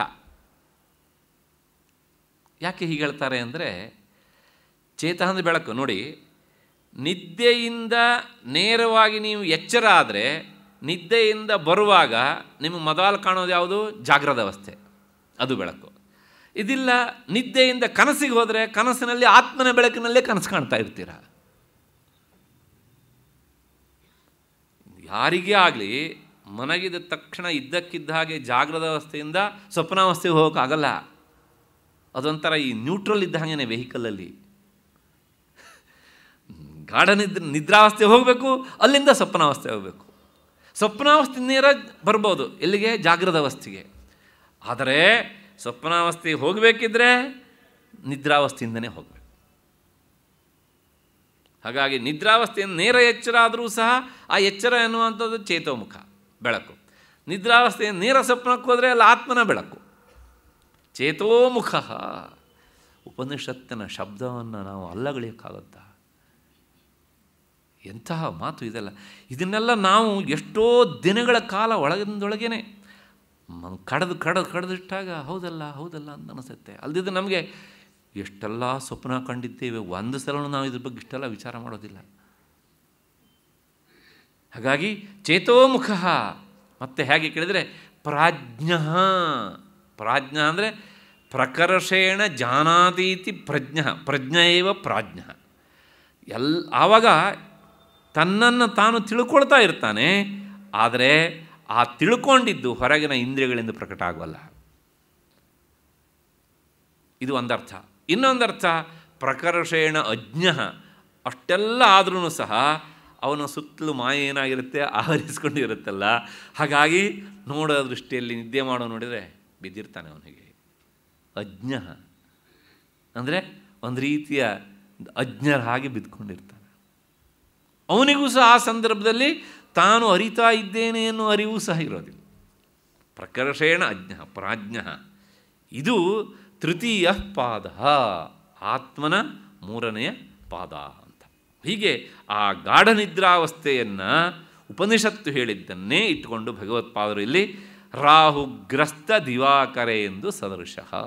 ಅಂದ ಮಾತ್ರಕ್ಕೆ ಸುಷುಪ್ತಿಯಲ್ಲಿ, ಸುಷುಪ್ತ್ಯವಸ್ಥೆಯಲ್ಲಿ ಆತ್ಮ ಇಲ್ಲ ಅಂತ ಹೇಳೋದಕ್ಕೆ ಆಗೋದಿಲ್ಲ. ಯಾಕೆಂದರೆ ಸುಷುಪ್ತಿ ಹೋಗೋಕ್ಕಿಂತ ಮೊದಲು ನಮಗೆ ಅರಿವು ಇತ್ತು, ಎಚ್ಚರ ಇದೆ. ಆಮೇಲೆ ಎಚ್ಚರ, ಕನಸಿನಿಂದ, ನಿದ್ದೆಯಿಂದ ಎದ್ಮೇಲೂ ಸಹ ಎಚ್ಚರ ಇದೆ. ಹಾಗೆ ಮಧ್ಯದಲ್ಲೂ ಸಹ ನಮಗೆ ನೇರ ಎಚ್ಚರ ಇಲ್ಲದಿದ್ದರೂ ಸಹ ನಿದ್ರೆಯಿಂದ ಎದ್ದಾಗ ನಾನು ಹಾಯಾಗಿ ನಿದ್ದೆ ಮಾಡಿದೆ ಎನ್ನುವಂಥ ಅರಿವು ಎಲ್ಲರಿಗೂ ಉಂಟು. ಅಷ್ಟೇ ಅಲ್ಲ, ನ ಕಿಂಚಿದ ಸುಖಮಹಂ ಅಸ್ವಾಪ್ಸಂ, ನ ಕಿಂಚಿದ ಅವೇದಿಷಂ ನಾನು ಏನನ್ನೂ ಅರಿಯಲಿಲ್ಲ ಅಂತ. ಇಲ್ಲೊಂದು ಶಬ್ದ ಉಂಟು, ಯಃ ಪ್ರತ್ಯಭಿಜ್ಞಾಯತೆ ಅಂತ. ಪ್ರತ್ಯಭಿಜ್ಞಾನ ಅಂತ. ಪ್ರತ್ಯಭಿಜ್ಞಾನ ಅಂದರೆ ನಾವು ಹಿಂದೆ ಅನುಭವಿಸಿದ ಸಂಸ್ಕಾರ. ಒಂದಿರುತ್ತೆ ನಮಗೆ. ಈಗ ಆ ಸಂಸ್ಕಾರಕ್ಕೆ ನೇರ ಇಂದ್ರಿಯದ ಸ್ಪರ್ಶ ಆದಾಗ ಬರುವುದಕ್ಕೆ ಅನುಭವ ಅಂತ ನಾವು ಕರಿತೇವೆ. ನಾವು ಜೀವನದಲ್ಲಿ ಏನನ್ನು ನೋಡ್ತೇವೋ, ಏನನ್ನು ಕೇಳ್ತೇವೆ ಇದೆಲ್ಲವುದೂ ಸಹ ಏನಾಗಿರುತ್ತೆ ಅಂದರೆ ನಮ್ಮ ಮನಸ್ಸಿನಲ್ಲಿ ಸಂಸ್ಕಾರ ರೂಪದಲ್ಲಿ ಕುಳಿತಿರುತ್ತೆ. ಯಾವುದನ್ನು ಬಹಳ ಡೀಪಾಗಿ ಹಚ್ಚಿಕೊಂಡು ಮಾಡ್ತೇವೋ, ಅದು ಬಹಳ ಡೀಪಾಗಿ ಕೂತಿರುತ್ತೆ. ಯಾವುದನ್ನು ಮೇಲೆ ಮೇಲಿಂದ ಮಾಡಿರ್ತೇವೋ ಅದು ಹಾಗಾಗಿ ಹಾಗಾಗಿರುತ್ತೆ ಪ್ರತ್ಯಭಿಜ್ಞಾಯತೆ ಅಂದರೆ ಪ್ರತ್ಯಭಿಜ್ಞಾನ. ಆ ಪ್ರತ್ಯಭಿಜ್ಞಾನದಲ್ಲಿ ಏನಿರಬೇಕು? ಹಿಂದೆ ನೋಡಿದ್ದರ ಸ್ಮರಣೆ ಒಂದಿರಬೇಕು ಸಂಸ್ಕಾರ ರೂಪದಲ್ಲಿರ್ತದೆ ಅದು. ಈಗ ಅದರ ನೇರ ಅನುಭವ ಬರಬೇಕು. ಈಗ ಈಗ ಐದು ವರ್ಷ ಹಿಂದೆ ಕಾಶಿಯಲ್ಲಿ ಒಬ್ಬನನ್ನು ನೀವು ನೋಡಿದ್ರಿ. ನಿನ್ನೆ ದಿವಸ ಅವನು ಬೆಂಗಳೂರಲ್ಲಿ ಕಂಡ. ಆಗ ಅವನನ್ನು ನೋಡಿದಾಗ ನಿಮಗೇನಾಗತ್ತೆ ಕೇಳಿದರೆ, ಐದು ವರ್ಷ ಹಿಂದೆ ಕಾಶಿಯಲ್ಲಿ ನಾನು ನೋಡಿದ್ನಲ್ಲ, ಅವನೇ ಇವನು. ಅಂತ ಜ್ಞಾನ. ಇದು ಪ್ರತ್ಯಭಿಜ್ಞಾನ. ಅಂದು ನೀವು ಅವನನ್ನು ನೋಡಿದ್ದು ನಿಮ್ಮ ಮನಸ್ಸಿನಲ್ಲಿ ಏನಾಗಿರುತ್ತೆ? ಸಂಸ್ಕಾರ ರೂಪದಲ್ಲಿ ಕುಳಿತಿರುತ್ತೆ. ಇವತ್ತು ನಿಮ್ಮ ಇಂದ್ರಿಯ, ಅಂದರೆ ಈ ಶ್ರೋತ್ರೇಂದ್ರಿಯ ಅವನನ್ನು ನೋಡಿದ ತಕ್ಷಣ, ಆ ಸಂಸ್ಕಾರ ರೂಪದಲ್ಲಿರುವ ಅನುಭವಕ್ಕೂ ಈ ಇಂದ್ರಿಯಕ್ಕೂ ಸ್ಪರ್ಶವಾದಾಗ ಏನಾಗುತ್ತೆ ಕೇಳಿದರೆ, ಅದು ಸ್ಫುಟವಾಗುತ್ತೆ. ಅದಕ್ಕೆ ಪ್ರತ್ಯಭಿಜ್ಞಾನ ಅಂತ ಹೆಸರು. ಈ ಶಬ್ದದ ಬಗ್ಗೆ ಇನ್ನು ಮುಂದೆ ನಾವು ಗಟ್ಟಿ ಇಟ್ಕೊಳ್ಬೇಕು. ಇನ್ನು ಮುಂದೆ ಮುಂದೆ ಬರುತ್ತೆ ಇದು. ಹಾಗಾಗಿ ಮುಂದಿನ ಶ್ಲೋಕದಲ್ಲಿ ಅದರ ಬಗ್ಗೆ ಹೆಚ್ಚು ವಿವರಣೆಯನ್ನು ನಾವು ನೋಡೋಣ. ಯಃ ಪ್ರತ್ಯಭಿಜ್ಞಾಯತೆ. ತಸ್ಮೈ ಶ್ರೀ ಗುರುಮೂರ್ತಯೇ ನಮೈದಂ ಶ್ರೀ ದಕ್ಷಿಣಾಮೂರ್ತಯೇ ಅಂತಹ ಗುರುಮೂರ್ತಿಯಾದಂಥ ದಕ್ಷಿಣಾಮೂರ್ತಿಗೆ ನಮಸ್ಕಾರ ಅಂತ. ಹಾಂ. ಸೂರ್ಯ ಚಂದ್ರರು ಗ್ರಹಣಕ್ಕೆ ಒಳಗಾದಾಗ ಅವರು ಇದ್ದರೂ ಸಹ ಕಾಣೋದಿಲ್ಲ. ಕಾರಣ ಈ ರಾಹುವೋ ಕೇತುವೋ ಅವರನ್ನು ಕಬಳಿಸಿತ್ತು ಇಲ್ಲಿ ಆತ್ಮನನ್ನು ಮುಚ್ಚಿಟ್ಟಿದ್ಯಾವುದು ಅಂದರೆ ಮಾಯೆ. ಈ ಮಾಯೆ ಅಂತ ಬಂದಾಗ ನಾನು ಗೀತೆ ಹೇಳಬೇಕಿದ್ರು, ಆಗಾಗ ಹೇಳಿದ್ದೇನೆ. ಈ ಮಾಯೆ ಬಗ್ಗೆ ಎಷ್ಟು ಹೇಳಿದರೂ ಸಹ ಅದು ಅರ್ಥ ಆಗೋದಿಲ್ಲ. ಯಾಕಂದರೆ ಅದು ಮಾಯೆ. ಅದು ಮಾಯೆ. ಎಷ್ಟೇ ಹೇಳಿದರೂ ಸಹ ಅದು ಕಣ್ಣಿಗೆ ಕಾಣೋದಿಲ್ಲ, ಕೈಗೆ ಸಿಗೋದಿಲ್ಲ, ತಾನು ಮಾಡೋ ಕೆಲಸ ಬಿಡೋದಿಲ್ಲ. ಮಾಯೆಗೆ ಎರಡು ಶಕ್ತಿಗಳಿರ್ತವೆ. ಒಂದು ಆವರಣ ಶಕ್ತಿ, ಇನ್ನೊಂದು ವಿಕ್ಷೇಪ ಶಕ್ತಿ ಅಂತ. ನಾನು ಹೇಳಿದ್ದೇನೆ ಇದನ್ನು ಸಹ. ಆದರೆ ಇಲ್ಲಿ ಬೇಕು ಆ ಪುನಃ ಏನು ಕೆಲಸ ಮಾಡುತ್ತೆ ಅಂತ. ನಾವು ಗಾಢನಿದ್ರಾವಸ್ಥೆಗೆ ಹೋದಾಗ ಮಾಯೆಯ ಯಾವ ಶಕ್ತಿ ಕೆಲಸ ಮಾಡುತ್ತೆ ಅಂದರೆ ಆವರಣ ಶಕ್ತಿ. ಮಾಯೆ ಆ ಆತ್ಮನನ್ನು ಆವರಿಸಿ ಬಿಡುತ್ತೆ ಅಂದರೆ ಮಾಯೆಯಿಂದ ಆತ್ಮ ಮುಸುಕಾಕೊಂಡು ಕೂತಿರ್ತಾನೆ ಹೀಗೆ. ಈ ಹಳ್ಳಿಯಲ್ಲಿ ರೈತರು ಕಂಬಳಿ ಹೊದ್ಕೊಂಡು ಹಿಂಗೆ ಕೂತಿರ್ತಾರಲ್ಲ ಹಾಗೆ. ಮಾಯೆಯ ಮುಸುಕಿನ ಒಳಗಿರ್ತಾನೆ ಅವನು. ಆವರಣ ಶಕ್ತಿ. ಹಾಗಾಗಿ ನಮಗೇನಾಗುತ್ತೆ ಕೇಳಿದ್ರೆ ಗಾಢ ನಿದ್ರಾವಸ್ಥೆಯಲ್ಲಿ ಏನೂ ಗೊತ್ತಾಗೋದಿಲ್ಲ. ಯಾಕೆ ಆ ಮುಸುಕು? ಮತ್ತು ನಮ್ಮ ಪ್ರಾರಬ್ಧ ಕರ್ಮವೇ ಆ ಮುಸುಕನ್ನು ಮೆತ್ತಗೀಗ ಸರಿಸುತ್ತೆ. ಆಗ ನಮಗೆ ಎಚ್ಚರ ಆಗುತ್ತೆ. ಇದು ಆವರಣ ಶಕ್ತಿ ಮಾಡುವ ಕೆಲಸ. ಆವರಣ ಶಕ್ತಿ ಏನು ಮಾಡುತ್ತೆ? ಇದ್ದದ್ದನ್ನು ಮುಚ್ಚಿ ಹಾಕತ್ತೆ. ವಿಕ್ಷೇಪ ಶಕ್ತಿ ಏನು ಮಾಡುತ್ತೆ ಕೇಳಿದರೆ, ಆ ಆವರಣ ಶಕ್ತಿ ಮುಚ್ಚಿದ ತಕ್ಷಣ ಅಲ್ಲಿ ಇನ್ನೊಂದನ್ನು ನಮಗೆ ಹೊಸದಾಗಿ ಹುಟ್ಟಿಸಿ ತೋರಿಸುತ್ತೆ. ವಿಕ್ಷೇಪ ಅಂದರೆ ಎಸೆಯೋದು ಅಂತ ಅರ್ಥ. ಯಾವುದನ್ನು ಎಸೆಯೋದು ಅಂದರೆ ಇನ್ನೊಂದು ರೂಪವನ್ನು ಎಸೆದು ತೋರಿಸ್ತಾ ಇರುತ್ತೆ ಅದು. ಇಲ್ಲಿ ವಿಕ್ಷೇಪ ಶಕ್ತಿ ಕೆಲಸ ಮಾಡೋದೇ ಇಲ್ಲ. ತಟಸ್ಥವಾಗಿ ಕೂತಿರುತ್ತೆ. ಆದರೆ ಈ ಸೃಷ್ಟಿ ಪ್ರಕ್ರಿಯೆಯಲ್ಲಿ ಏನಾಗುತ್ತೆ ಕೇಳಿದರೆ ಆವರಣ ಶಕ್ತಿ, ವಿಕ್ಷೇಪ ಶಕ್ತಿ ಎರಡೂ ಕೆಲಸ ಮಾಡ್ತವೆ. ಈಗ ನಾವು ಹಗ್ಗವನ್ನು ನೋಡಿದಾಗ ನಮಗೆ ಹಾವು ಅಂತ ಗಾಬರಿ ಆಗಿಬಿಡುತ್ತೆ. ಯಾಕಾಗತ್ತೆ ಅಂದರೆ ಮಾಯೆ ಎರಡೂ ಶಕ್ತಿಯು ಕೆಲಸ ಮಾಡುತ್ತೆ. ಆವರಣ ಶಕ್ತಿ ಏನು ಮಾಡುತ್ತೆ? ಅದು ಹಗ್ಗ ಅನ್ನೋದನ್ನು ಮರೆಮಾಚಿಬಿಡುತ್ತೆ ತಕ್ಷಣ ವಿಕ್ಷೇಪ ಶಕ್ತಿ, ನಿನ್ನ ಕೆಲಸ ಆಯಿತಾ? ಮುಂದಿನ ಕೆಲಸ ನಾ ಮಾಡಲಾ? ಅಂತೇಳಿ ಹಾವನ್ನು ತೋರಿಸುತ್ತೆ ಅಲ್ಲಿಗೆ. ಕಪ್ಪೆ ಚಿಪ್ಪನ್ನು ನೋಡ್ತೇವೆ. ಅಲ್ಲೂ ಹಾಗೇನೆ, ಆವರಣ ಶಕ್ತಿ ಏನು ಮಾಡುತ್ತೆ? ಆ ಚಿಪ್ಪು ಅನ್ನೋದನ್ನು ಮರೆಮಾಚಿಬಿಡುತ್ತೆ ವಿಕ್ಷೇಪ ಶಕ್ತಿ ಬೆಳ್ಳಿಯನ್ನು ತೋರಿಸುತ್ತೆ. ಇದೆಲ್ಲ ಸೆಕೆಂಡ್ಗಿಂತ ಎಷ್ಟೋ ಶೀಘ್ರವಾಗಿ ನಡೆದುಬಿಡುತ್ತೆ ನಮಗೆ. ಹೀಗೆ ಆವರಣ ಶಕ್ತಿ ಮತ್ತು ವಿಕ್ಷೇಪ ಶಕ್ತಿಯಿಂದಾಗಿ ಏನಾಗುತ್ತೆ ಕೇಳಿದರೆ ಈ ಕೆಲಸ ಆಗ್ತಾ ಇರುತ್ತೆ. ಗಾಢ ನಿದ್ರಾವಸ್ಥೆಯಲ್ಲಿ ಆವರಣ ಶಕ್ತಿ ಮಾತ್ರ ಕೆಲಸ ಮಾಡ್ತಾ ಇರುತ್ತೆ. ಹಾಗಾಗಿ ಬೌದ್ಧ ಹೇಳುವ ಹಾಗೆ ಆತ್ಮ ಇಲ್ಲ ಅಂತ ಹೇಳೋದಕ್ಕಾಗೋದಿಲ್ಲ. ಆತ್ಮ ಇಲ್ಲದೇ ಇದ್ದಿದ್ದರೆ ನಿದ್ದೆ ಮಾಡಿದವರು ಯಾರು? ನಂಗೆ ಗೊತ್ತಿಲ್ಲ. ನಿನ್ನೆ ನಿದ್ದೆ ಮಾಡಿದವರು ಯಾರು? ನಂಗೆ ಗೊತ್ತಿಲ್ಲ. ಯಾರೋ ಹೇಳ್ತಾರ?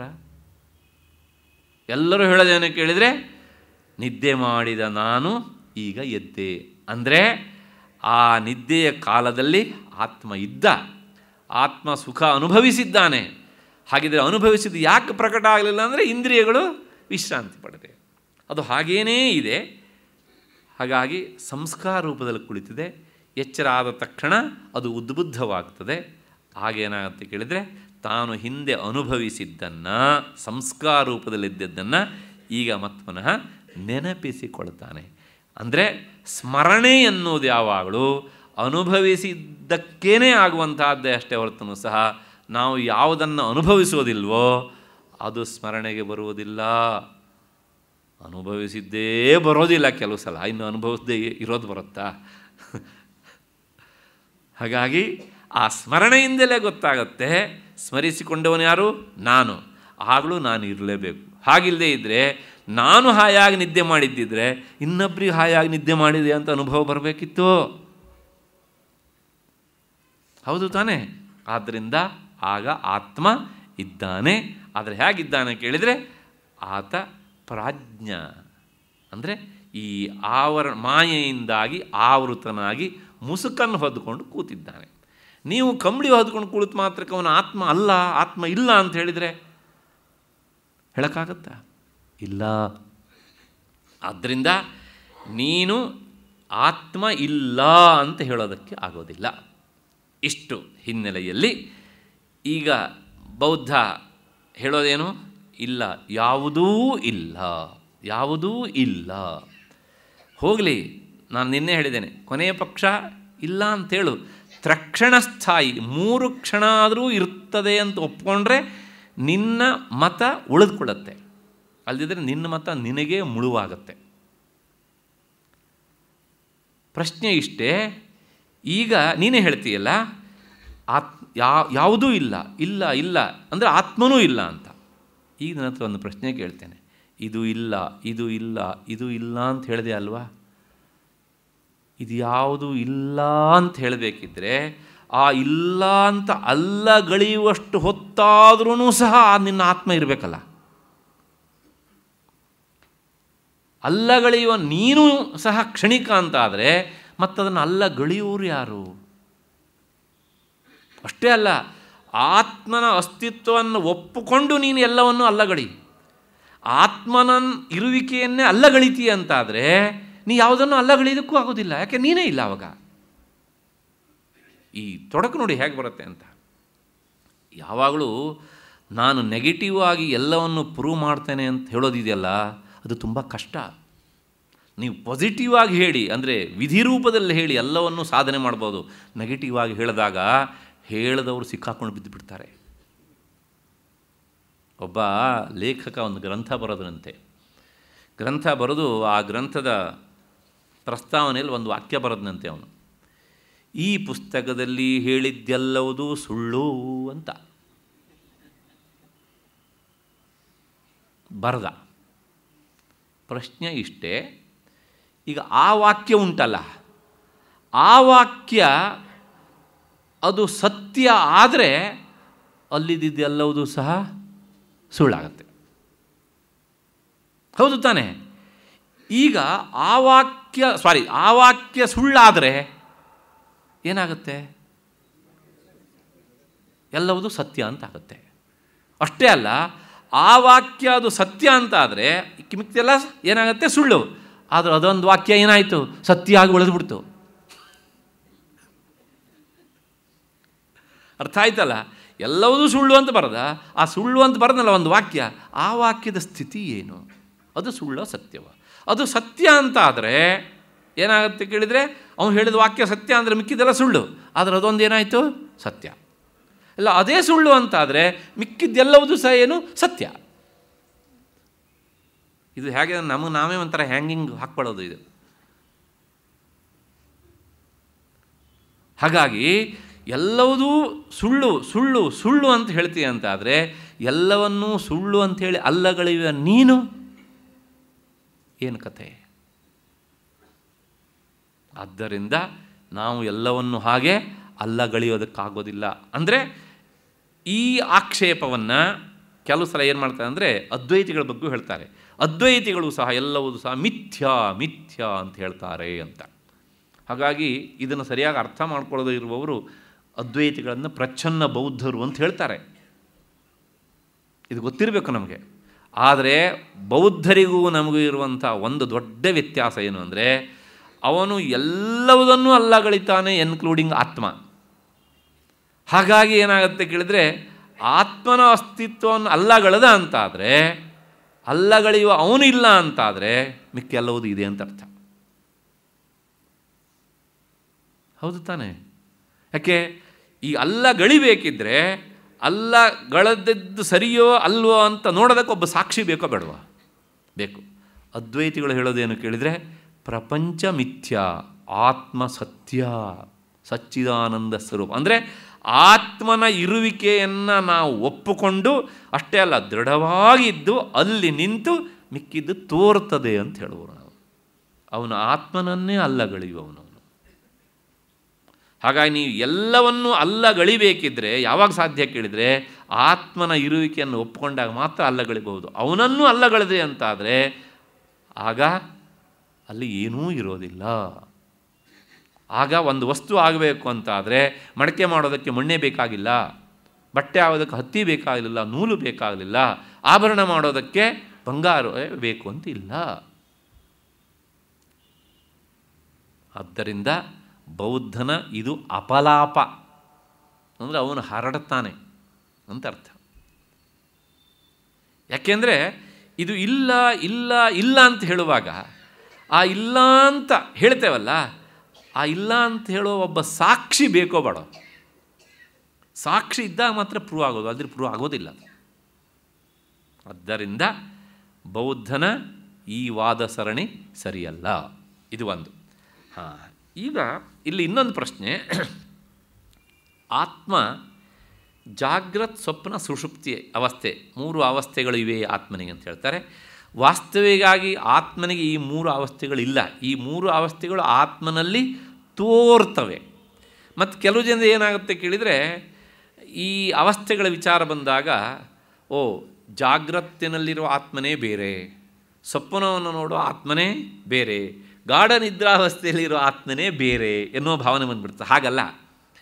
ಒಬ್ಬನೇ ಆತ್ಮ ಅವನ ಅವಿದ್ಯೆಯಿಂದಾಗಿ ಏನಾಗುತ್ತೆ ಕೇಳಿದರೆ ಗಾಢ ನಿದ್ರಾವಸ್ಥೆ ಮತ್ತು ಮನಸ್ಸಿನ ಈ ಒಂದು ಕ್ರೀಡೆಯಿಂದಾಗಿ ಕನಸನ್ನು ಅಲ್ಲೇ ಆತ್ಮನಲ್ಲಿಯೇ ನಡೀತಾ ಇರುತ್ತೆ. ಮತ್ತು ಇಂದ್ರಿಯಗಳು ಬಹಿರ್ಮುಖವಾದಾಗ ಆತ್ಮನಲ್ಲಿಯೇ ಈ ಹೊರಗಿನ ಪ್ರಪಂಚ ಕಾಣ್ತಾ ಇರುತ್ತೆ. ಒಬ್ಬನೇ ಆತ್ಮ, ಮೂರಲ್ಲ. ಇದಕ್ಕೆ ಶಾಸ್ತ್ರ ಒಂದು ದೃಷ್ಟಾಂತ ಕೊಡುತ್ತೆ. ಮಹಾಮತ್ಸ್ಯ ಸಂಚಾರ ನ್ಯಾಯ ಅಂತ ಇದೆ.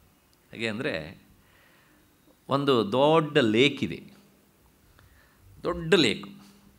ಆ ದೊಡ್ಡ ಲೇಕ್ ಒಳಗೆ ನಾವು ಇವಾಗ ಮೂರು ವಿಭಾಗ ಮಾಡ್ತೇವೆ. ಒಳಗಡೆ ಡಿವೈಡರ್ ಹಾಕಿಬಿಟ್ಟು ಹೇಗೆ ಅಂತ. ಆದರೆ ಆ ನೀರು ಹೋಗಿ ಬಂದು ಮಾಡೋದಕ್ಕೆ ಅಲ್ಲಲ್ಲಿ ದಾರಿ ಇಡ್ತೇವೆ. ಈ ಕಡೆ ಒಂದು ಏನು ವಿಭಾಗ, ಆ ಕಡೆ ಒಂದು ವಿಭಾಗ, ಅಲ್ಲೊಂದು ವಿಭಾಗ ಪರಸ್ಪರ ಎಲ್ಲದಕ್ಕೂ ಸಹ ಹೋಗೋದಕ್ಕೆ ದಾರಿ ಇದೆ. ಇದರೊಳಗೊಂದು ದೊಡ್ಡ ಮೀನ ಇದೆ. ಈಗ ಕೊಠಡಿ ಅಥವಾ ಭಾಗ ಒಂದು ಅಲ್ಲಿ ಬಂದಾಗ ಆ ಮೀನು ನೋಡಿದಾಗ ಅಲ್ಲಿರೋ ಏನು ಹೇಳ್ತಾರೆ? ಓಹೋ, ಈ ಭಾಗದಲ್ಲಿರುವ ಮೀನು ಬೇರೆ ಅಂತ. ನೀವು ಅಷ್ಟು ಹೇಳ್ತಾ ಇರೋಷ್ಟೊತ್ತಿಗೆ ಅದು ಆ ಕಡೆ ಹೋಗ್ಬಿಡುತ್ತೆ. ಅಲ್ಲಿದ್ದವ್ರು ಏನು ಹೇಳ್ತಾರೆ? ಓಹೋ, ಈ ಮೀನು ಬೇರೆ. ಯಾಕೆಂದ್ರೆ ಅವ್ರು ಈ ಕಡೆ ನೋಡಲಿಲ್ವಲ್ಲ? ಹಾಗಾಗಿ ಈ ಮೀನು ಬೇರೆ ಅಂತ. ಇಷ್ಟೆಲ್ಲ ಆಗ್ತಾ ಇರೋ ಆ ಮೀನು ಆ ಕಡೆಗೆ ಸಂಚಾರ ಮಾಡುತ್ತೆ. ಆವಾಗ ಆ ಮೀನು ಬೇರೆ ಅಂತ ಹೇಳೋದಕ್ಕಾಗತ್ತಾ? ಹಾಗಿದ್ರೆ ಬೇರೆ ಬೇರೆ ಅಂತ ಅನಿಸಿದ್ದು ಯಾವುದರಿಂದಾಗಿ ಕೇಳಿದರೆ ಈ ವಿಭಾಗದಿಂದಾಗಿ. ಹಾಗೆ ಅಂತ ಅದು ಮೂರು ಕಡೆಗೂ ಸಹ ಸಮಾನವಾಗಿ ಇರುತ್ತೆ.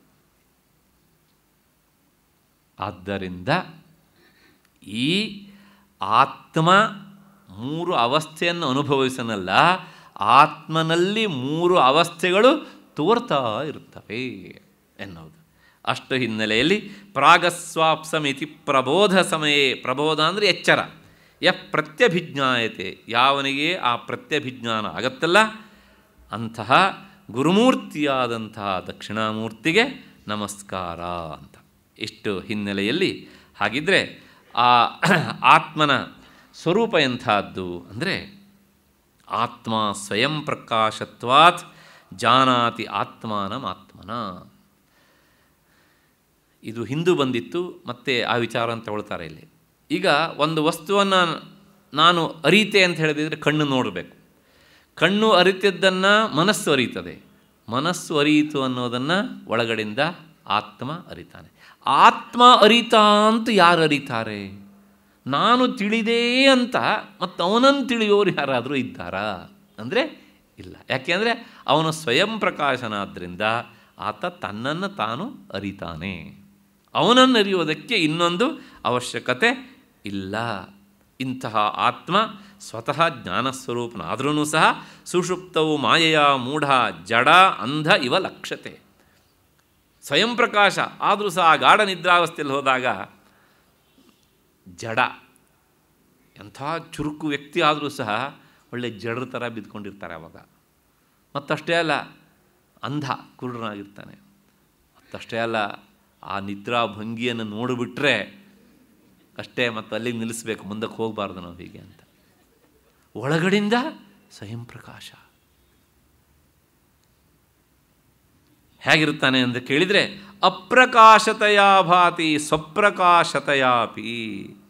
ಅವನು ವಾಸ್ತವಿಕ ಸ್ವಪ್ರಕಾಶ ಸ್ವರೂಪ ಅದರ ಗಾಢ ನಿದ್ರಾವಸ್ಥೆಯಲ್ಲಿ ಹೊರಗಡೆಯಿಂದ ನೋಡುವವರಿಗೆ ಅಪ್ರಕಾಶನಾಗಿ ಕಾಣ್ತಾನೆ ಆದರೆ ಒಳಗಡೆಯಿಂದ ಅವನು ಬೆಳಕಿನ ಪುಂಜನಾಗಿ ಇರ್ತಾನೆ. ಅವಸ್ಥಾತ್ರಯ ನಿರ್ಮುಕ್ತ. ಆತ್ಮನ ನಿಜವಾದ ಸ್ವರೂಪ ಹಾಗೆ ಕೇಳಿದರೆ ಅವಸ್ಥಾತ್ರಯ ನಿರ್ಮುಕ್ತ. ಅವನಿಗೆ ಈ ಅವಸ್ಥೆಗಳು ಇಲ್ಲ. ಮಹಾಮತ್ಸ್ಯ ಸಂಚಾರ ಹೇಳಿದ್ನಲ್ಲ ಹಾಗೆ. ಅವನಿಗೆ ಯಾವುದೇ ಅವಸ್ಥೆಗಳು ಇಲ್ಲ. ಅವನನ್ನು ತೋರ್ತವೆ. ದೋಷಾದಿಭಿ ಅನಾವಿಲಹ. ಅವನಿಗೆ ಯಾವುದೇ ದೋಷಗಳು ಇಲ್ಲ. ಈ ಪಂಚಭೂತಗಳಲ್ಲಿ ಪೃಥಿವಿ ನಾವು ಮಲಿನ ಮಾಡ್ತೇವೆ. ನೀರನ್ನು ಮಲಿನ ಮಾಡ್ತೇವೆ. ಅಲ್ವಾ? ಮತ್ತು ಗಾಳಿಯನ್ನು ಕೆಲಸ ಮಲಿನ ಮಾಡ್ತೇವೆ. ಮತ್ತು ಬೆಂಕಿ, ಬೆಂಕಿಯನ್ನು ನಾವು ಮಲಿನ ಮಾಡ್ತೇವೆ. ಯಾಕೆಂದರೆ ಬೇಡದಿರೋ ವಸ್ತುಗಳನ್ನೆಲ್ಲ ಹಾಕಿ ಅದು ಕೆಟ್ಟದಾಗಿ ಉರಿಯೋ ಥರ, ಕೆಟ್ಟ ವಾಸನೆ ಬೀರೋ ಥರ ಮಾಡ್ತೇವೆ ಹಾಗೆ ಅಂತ. ಆದರೆ ಈ ಆಕಾಶ ಇದೆಯಲ್ಲ ಸ್ಪೇಸ್ ಇದನ್ನು ಮಲಿನ ಮಾಡೋಕ್ಕಾಗತ್ತಾ? ಇಲ್ಲ. ಪಂಚಭೂತಗಳಲ್ಲಿ ಆಕಾಶ ಆತ್ಮನಿಂದ ಹುಟ್ಟಿದ್ದು. ಆಕಾಶ ಅದೇ ಮಲಿನ ಆಗೋಲ್ಲ ಅಂತಾದರೆ ಆಕಾಶದ ಅಪ್ಪನಾದ ಆತ್ಮ ಮಲಿನನಾಗ್ತಾನ. ಯಾಕೆ? ಆತ್ಮನ ಆಕಾಶ ಸಂಭೂತ. ಉಪನಿಷತ್ತಿನ ಮಾತು. ಆತ್ಮನಿಂದಲೇ ಆಕಾಶ ಹುಟ್ಟಿತು ಅಂತ. ಆಕಾಶವೇ ಮಲಿನ ಆಗೋದಿಲ್ಲ, ಇನ್ನು ಆತ್ಮ ಮಲಿನ ಆಗೋದು ಹೇಗೆ? ನಾನು ಮೊನ್ನೆನೇ ಹೇಳಿದ್ದೇನೆ, ಮಲಿನಾತ್ಮ ಅಂತಂದರೆ ಹೇಗೆ ಅಂದರೆ ಕತ್ತಲೆಯ ಕೋಣೆಯಲ್ಲಿ ಕತ್ತಲಿರುತ್ತೆ, ಆದರೆ ಆ ಕತ್ತಲು ಅಲ್ಲಿನ ಸ್ಪೇಸಿಗೆ ಮೆತ್ಕೊಳ್ಳೋದಿಲ್ಲ ಅಂತ. ಹಾಗೇನೆ ಅವನು ದೋಷಾದಿಭಿ ಅನಾವಿಲಹ. ಆದರೆ ಇಂಥ ಆತ್ಮನನ್ನು ನಾವು ಹೇಗೆ ಗುರುತಿಸ್ಬೇಕು ಅಂದರೆ ಅದಕ್ಕೆ ಶಾಸ್ತ್ರ ಒಂದು ದೃಷ್ಟಾಂತ ಕೊಡುತ್ತೆ. ಇಶೀಕೈವ ಸನ್ಮಾತ್ರ ನಿಗ್ರೋಧ ಕಣಿಕೋಪಮಃ. ಈ ಮುಂಜಾ ಮುಂಜಾ ಅಂತ ಒಂದು ಹುಲ್ಲು ಇರುತ್ತೆ. ಈ ಉಪನಯನದಲ್ಲಿ ಆ ಹುಲ್ಲನ್ನೇ ಸೊಂಟಕ್ಕೆ ಕಟ್ತಾರೆ ಊಟಗಳು ಹಾಗಾಗಿ ಅದಕ್ಕೆ ಮುಂಜಿ ಅಂತ ಹೆಸರು. ಇವತ್ತು ಆ ಹುಲ್ಲು ಇಲ್ಲ, ಅವ್ರು ಕಟ್ಕೊಳ್ಳೋದು ಇಲ್ಲ. ಅದರ ಹೆಸರು ಮಾತ್ರ ಇದೆ ಮುಂಜಿ ಅಂತ. ಇವತ್ತು ಅದು ಬೇರೆ ಅರ್ಥದಲ್ಲೇ ಹೆಚ್ಚು ಪ್ರಸಿದ್ಧ ಆಗಿಬಿಟ್ಟಿದೆ. ಸದ್ಯಕ್ಕೆ ನಮಗೆ ಬೇಡ ಅದು. ಹೀಗೆ ಮುಂಜಾ ಅನ್ನೋದು ಒಂದು ಹುಲ್ಲು. ಆ ಹುಲ್ಲಿನ ಒಳಗೆ ಅತ್ಯಂತ ಸೂಕ್ಷ್ಮವಾದ ಒಂದು ಎಳೆ ಇರುತ್ತೆ. ಥ್ರೆಡ್. ಅದನ್ನು ಬಹಳ ಜಾಗರೂಕತೆಯಿಂದ ಆ ಹುಲ್ಲಿನಿಂದ ಬೇರ್ಪಡಿಸಬೇಕು. ಆಗ ಇಡಿಯಾದಂತಹ ಆ ದಾರ ಬರುತ್ತೆ. ಇದು ಎಷ್ಟು ಕಷ್ಟಕರವಾದ ಕೆಲಸವೋ, ನೀವು ಸ್ವಲ್ಪ ಜೋರಾಗಿ ಎಳೆದ್ರೆ ಕಟ್ಟಾಗ್ಬಿಡುತ್ತೆ ಅದು. ಸರಿಯಾಗಿ ಎಳಿಲಿಲ್ವೋ ಈಚೆ ಬರೋದೇ ಇಲ್ಲ. ಅಂದರೆ ಒಟ್ಟಾರೆ ಇದನ್ನು ಅದರಿಂದ ಬೇರ್ಪಡಿಸುವುದು, ಹುಲ್ಲಿನಿಂದ ಬೇರ್ಪಡಿಸುವುದು ಅತ್ಯಂತ ಕಷ್ಟದ ಕೆಲಸ. ಹಾಗೆಯೇ ಆತ್ಮನನ್ನು ಈ ದೇಹಕ್ಕಿಂತ ಅತಿರಿಕ್ತವಾಗಿ ತಿಳ್ಕೊಳ್ಳೋದು ತುಂಬ ಕಷ್ಟದ ಕೆಲಸ. ಆದರೆ ಸಾಧ್ಯ ಉಂಟು ಅದು. ಯಾರು ನೋಡ್ತಾರೆ ಅಂತ ಕೇಳಿದರೆ ಅದನ್ನು, ಇಶೀಕಾಂಚ ಯಥಾ ಮುಂಜಾತ್ ಕಶ್ಚಿತ್ ನಿಷ್ಕೃತ್ಯ ದರ್ಶಯೇತ್ ಯೋಗಿ ನಿಷ್ಕೃತ್ಯ ಚಾತ್ಮಾನಂ ತಥಾ ಪಶ್ಯತಿ ದೇಹತಃ. ಒಬ್ಬ ಯೋಗಿ ಆದವನು ಅಂದರೆ ಬಲವಾದ ಸಾಧನೆ ಮಾಡುವವನು, ಅವನು ದೇಹಕ್ಕಿಂತ ಬೇರೆಯಾಗಿ ಅದನ್ನು ನೋಡ್ತಾನೆ. ಹೇಗೆ ಅಂದರೆ ಮುಂಜಾ ಎನ್ನುವ ಹುಲ್ಲಿನಿಂದ ಆ ತಂತು ದಾರವನ್ನು ಬೇರೆಯಾಗಿ ಎಳೆದು ತೆಗೆದು ತೋರಿಸುವ ಹಾಗೆ ಅಂತ. ಈ ಮಾತು ಹೇಳಿದ ತಕ್ಷಣ, ಓಹೋ, ದಾರ, ಹುಲ್ಲು ಅಂದ ತಕ್ಷಣ ಆಕಾರ ಬಂತಲ್ಲ ಆತ್ಮನಿಗೆ ಒಂದು ಆಕಾರ ಉಂಟೇನೋ ಅಂತ ಸಂಶಯ ಬಂದುಬಿಡುತ್ತೆ ನಮ್ಮ ತಕ್ಷಣ. ಅದಕ್ಕೋಸ್ಕರ ಮುಂದಿನ ಶಬ್ದ ಏನು ಕೇಳಿದರೆ, ನಿರಂಶಃ.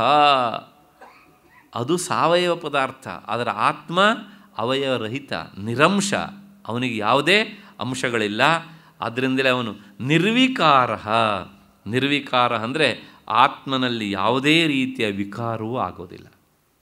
ಆ ಮಾತನ್ನು ನಾವು ನಾಳೆ ದಿವಸ ವಿಶೇಷವಾಗಿ ನೋಡ್ತೇವೆ. ಯಾವುದೇ ಬದಲಾವಣೆ ಅವನಲ್ಲಿ ಇಲ್ಲ. ಜೈನರು ಹೇಳ್ತಾರಲ್ಲ, ಆ ತರಹ ಇಲ್ಲ. ಮತ್ತು ಅವನು ಎಂಥವನು ಅಂದರೆ ನಿರಾಭಾಸ ನಿರಾಭಾಸ ಅಂದರೆ ಆತ್ಮನನ್ನು ನೋಡುವುದಕ್ಕೆ ಇನ್ನೊಂದು ಬೆಳಕಿನ ಅವಶ್ಯಕತೆ ಇಲ್ಲ. ಈಗ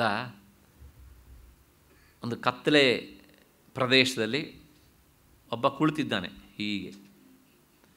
ಇನ್ನೊಬ್ಬ ವ್ಯಕ್ತಿ ಬಂದ. ಅವನಿಗೆ ಸಂಶಯ ಬಂತು, ಇಲ್ಲಿ ಯಾರೋ ಇದ್ದಾರೋ ಇಲ್ಲೋ? ಕೇಳ್ತಾನೆ ಆಗ, ಅಲ್ಲಿ ಯಾರೋ ಇದ್ದೀರಾ? ಅಂತ ನಾನಿದ್ದೀನಿ ಅಂತಾನೆ ಅವನು. ಅವನ ಸುತ್ತಲೂ ಇರೋದೇನು? ಕತ್ತಲು. ಆದರೆ ಆ ನಾನಿದ್ದೇನೆ ಅನ್ನುವಂಥ ಅರಿವು ಎಲ್ಲಿಂದ ಬಂತು ಅವನಿಗೆ? ಸ್ವಯಂ ಪ್ರಕಾಶ. ಅಂದರೆ ತಾನಿದ್ದೇನೋ ಇಲ್ವೋ ಅಂತ ಅವನು ಹೇಳ್ಬೋದಿತ್ತಲ್ಲ. ಇಲ್ಲಿ ನಾನಿದ್ದೇನೋ ಇಲ್ವೋ, ಸ್ವಲ್ಪ ನೀನು ಬೆಳಕನ್ನು ಹಾಯಿಸು, ಟಾರ್ಚ್ ಬಿಡು ನನ್ನ ಕಡೆಗೆ. ಆಗ ನಾನು ಇದ್ದೇನೋ ಇಲ್ಲ ಅಂತ ಗೊತ್ತಾಗುತ್ತೆ ಅಂತ ಹೇಳ್ಬೋದಿತ್ತಲ್ವಾ? ಅವನೇನು ಹೇಳ್ತಾನೆ? ಯಾರು ಇದ್ದೀರಾ ಇಲ್ವೋ ಅಂತ ಕೇಳಿ, ನಾನಿದ್ದೇನೆ ಅಂತಾನೆ. ಆ ನಾನಿದ್ದೇನೆ ಅನ್ನುವಂಥ ಅರಿವು ಎಲ್ಲಿಂದ ಬಂತು? ಒಳಗಿಂದ ಸರಾ ಇರುವಂಥದ್ದು ಹಾಗಾಗಿ ಅವನನ್ನು ನೋಡೋದಕ್ಕೆ ಇನ್ನೊಂದು ಜ್ಞಾನದ ಬೆಳಕಿನ ಅವಶ್ಯಕತೆ ಇಲ್ಲ ನಿರಾಭಾಸ ಮತ್ತಷ್ಟೇ ಅಲ್ಲ. ನಿರಂಜನ. ಎಷ್ಟೋ ಜನರಿಗೆ ಹೆಸರಿಡ್ತಾರೆ ನಿರಂಜನ ಅಂತ. ಎಷ್ಟು ಒಳ್ಳೆಯ ಹೆಸರು. ನಿರಂಜನ ಅಂದರೆ ಯಾವುದನ್ನೂ ಲೇಪಿಸಿಕೊಳ್ಳದೇ ಇರುವವನು ಅಂತ. ನಿರ್ಲೇಪ ಅಂತ. ಆದರೆ ಎಲ್ಲ ಲೇಪವೂ ಆಗತ್ತೆ ಅವರಿಗೆ. ಹೆಸರು ಮಾತ್ರ ನಿರಂಜನ.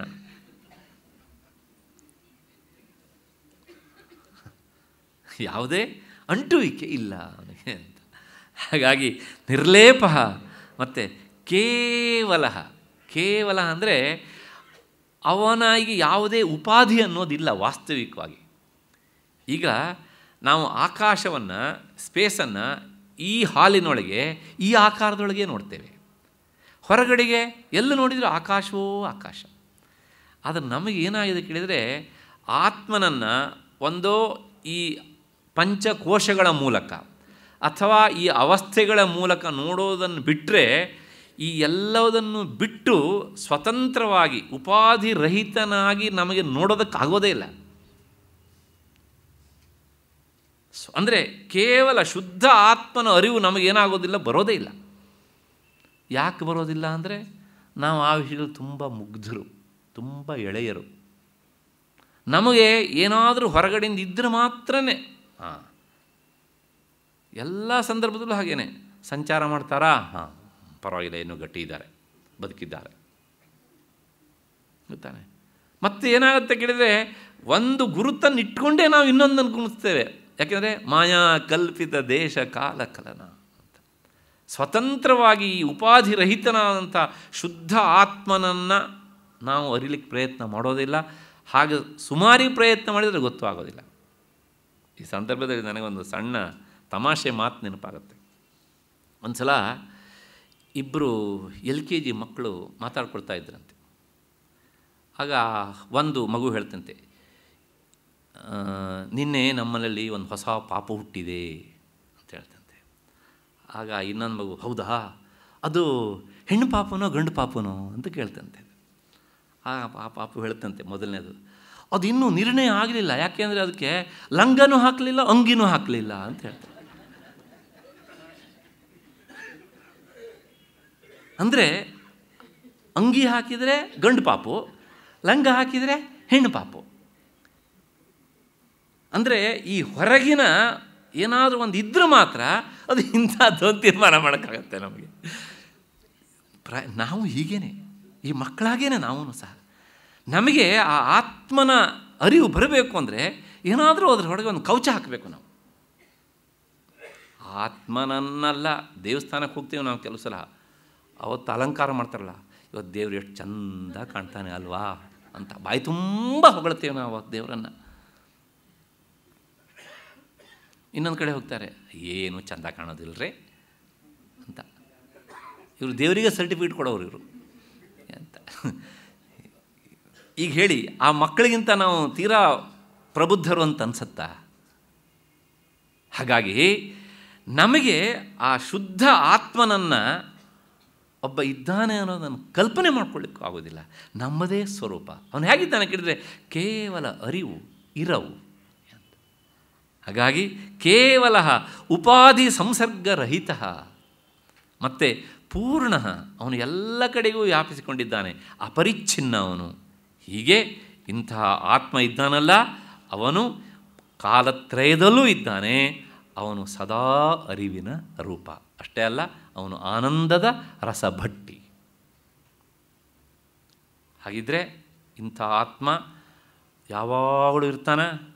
ಮತ್ತು ಅದೇ ಪ್ರಶ್ನೆ ನಿಮಗೆ, ಯಾವಾಗಲೂ ಇರ್ತಾನೆ? ಆ ಯಾವಾಗಲೂ ಇರ್ತಾನೆ ಅನ್ನೋದನ್ನು ಮತ್ತು ವಿಸ್ತೃತವಾದಂಥ ರೂಪವನ್ನು ನಾಳೆ ದಿವಸ ಸೇರಿದಾಗ ಮುಂದಿನ ಏಳನೇ ಶ್ಲೋಕದಲ್ಲಿ ನೋಡೋಣ. ಅಲ್ಲಿವರೆಗೆ ನಿಮಗೆಲ್ಲ ನಮಸ್ಕಾರ, ಮತ್ತು ಕೃತಜ್ಞತೆಗಳು.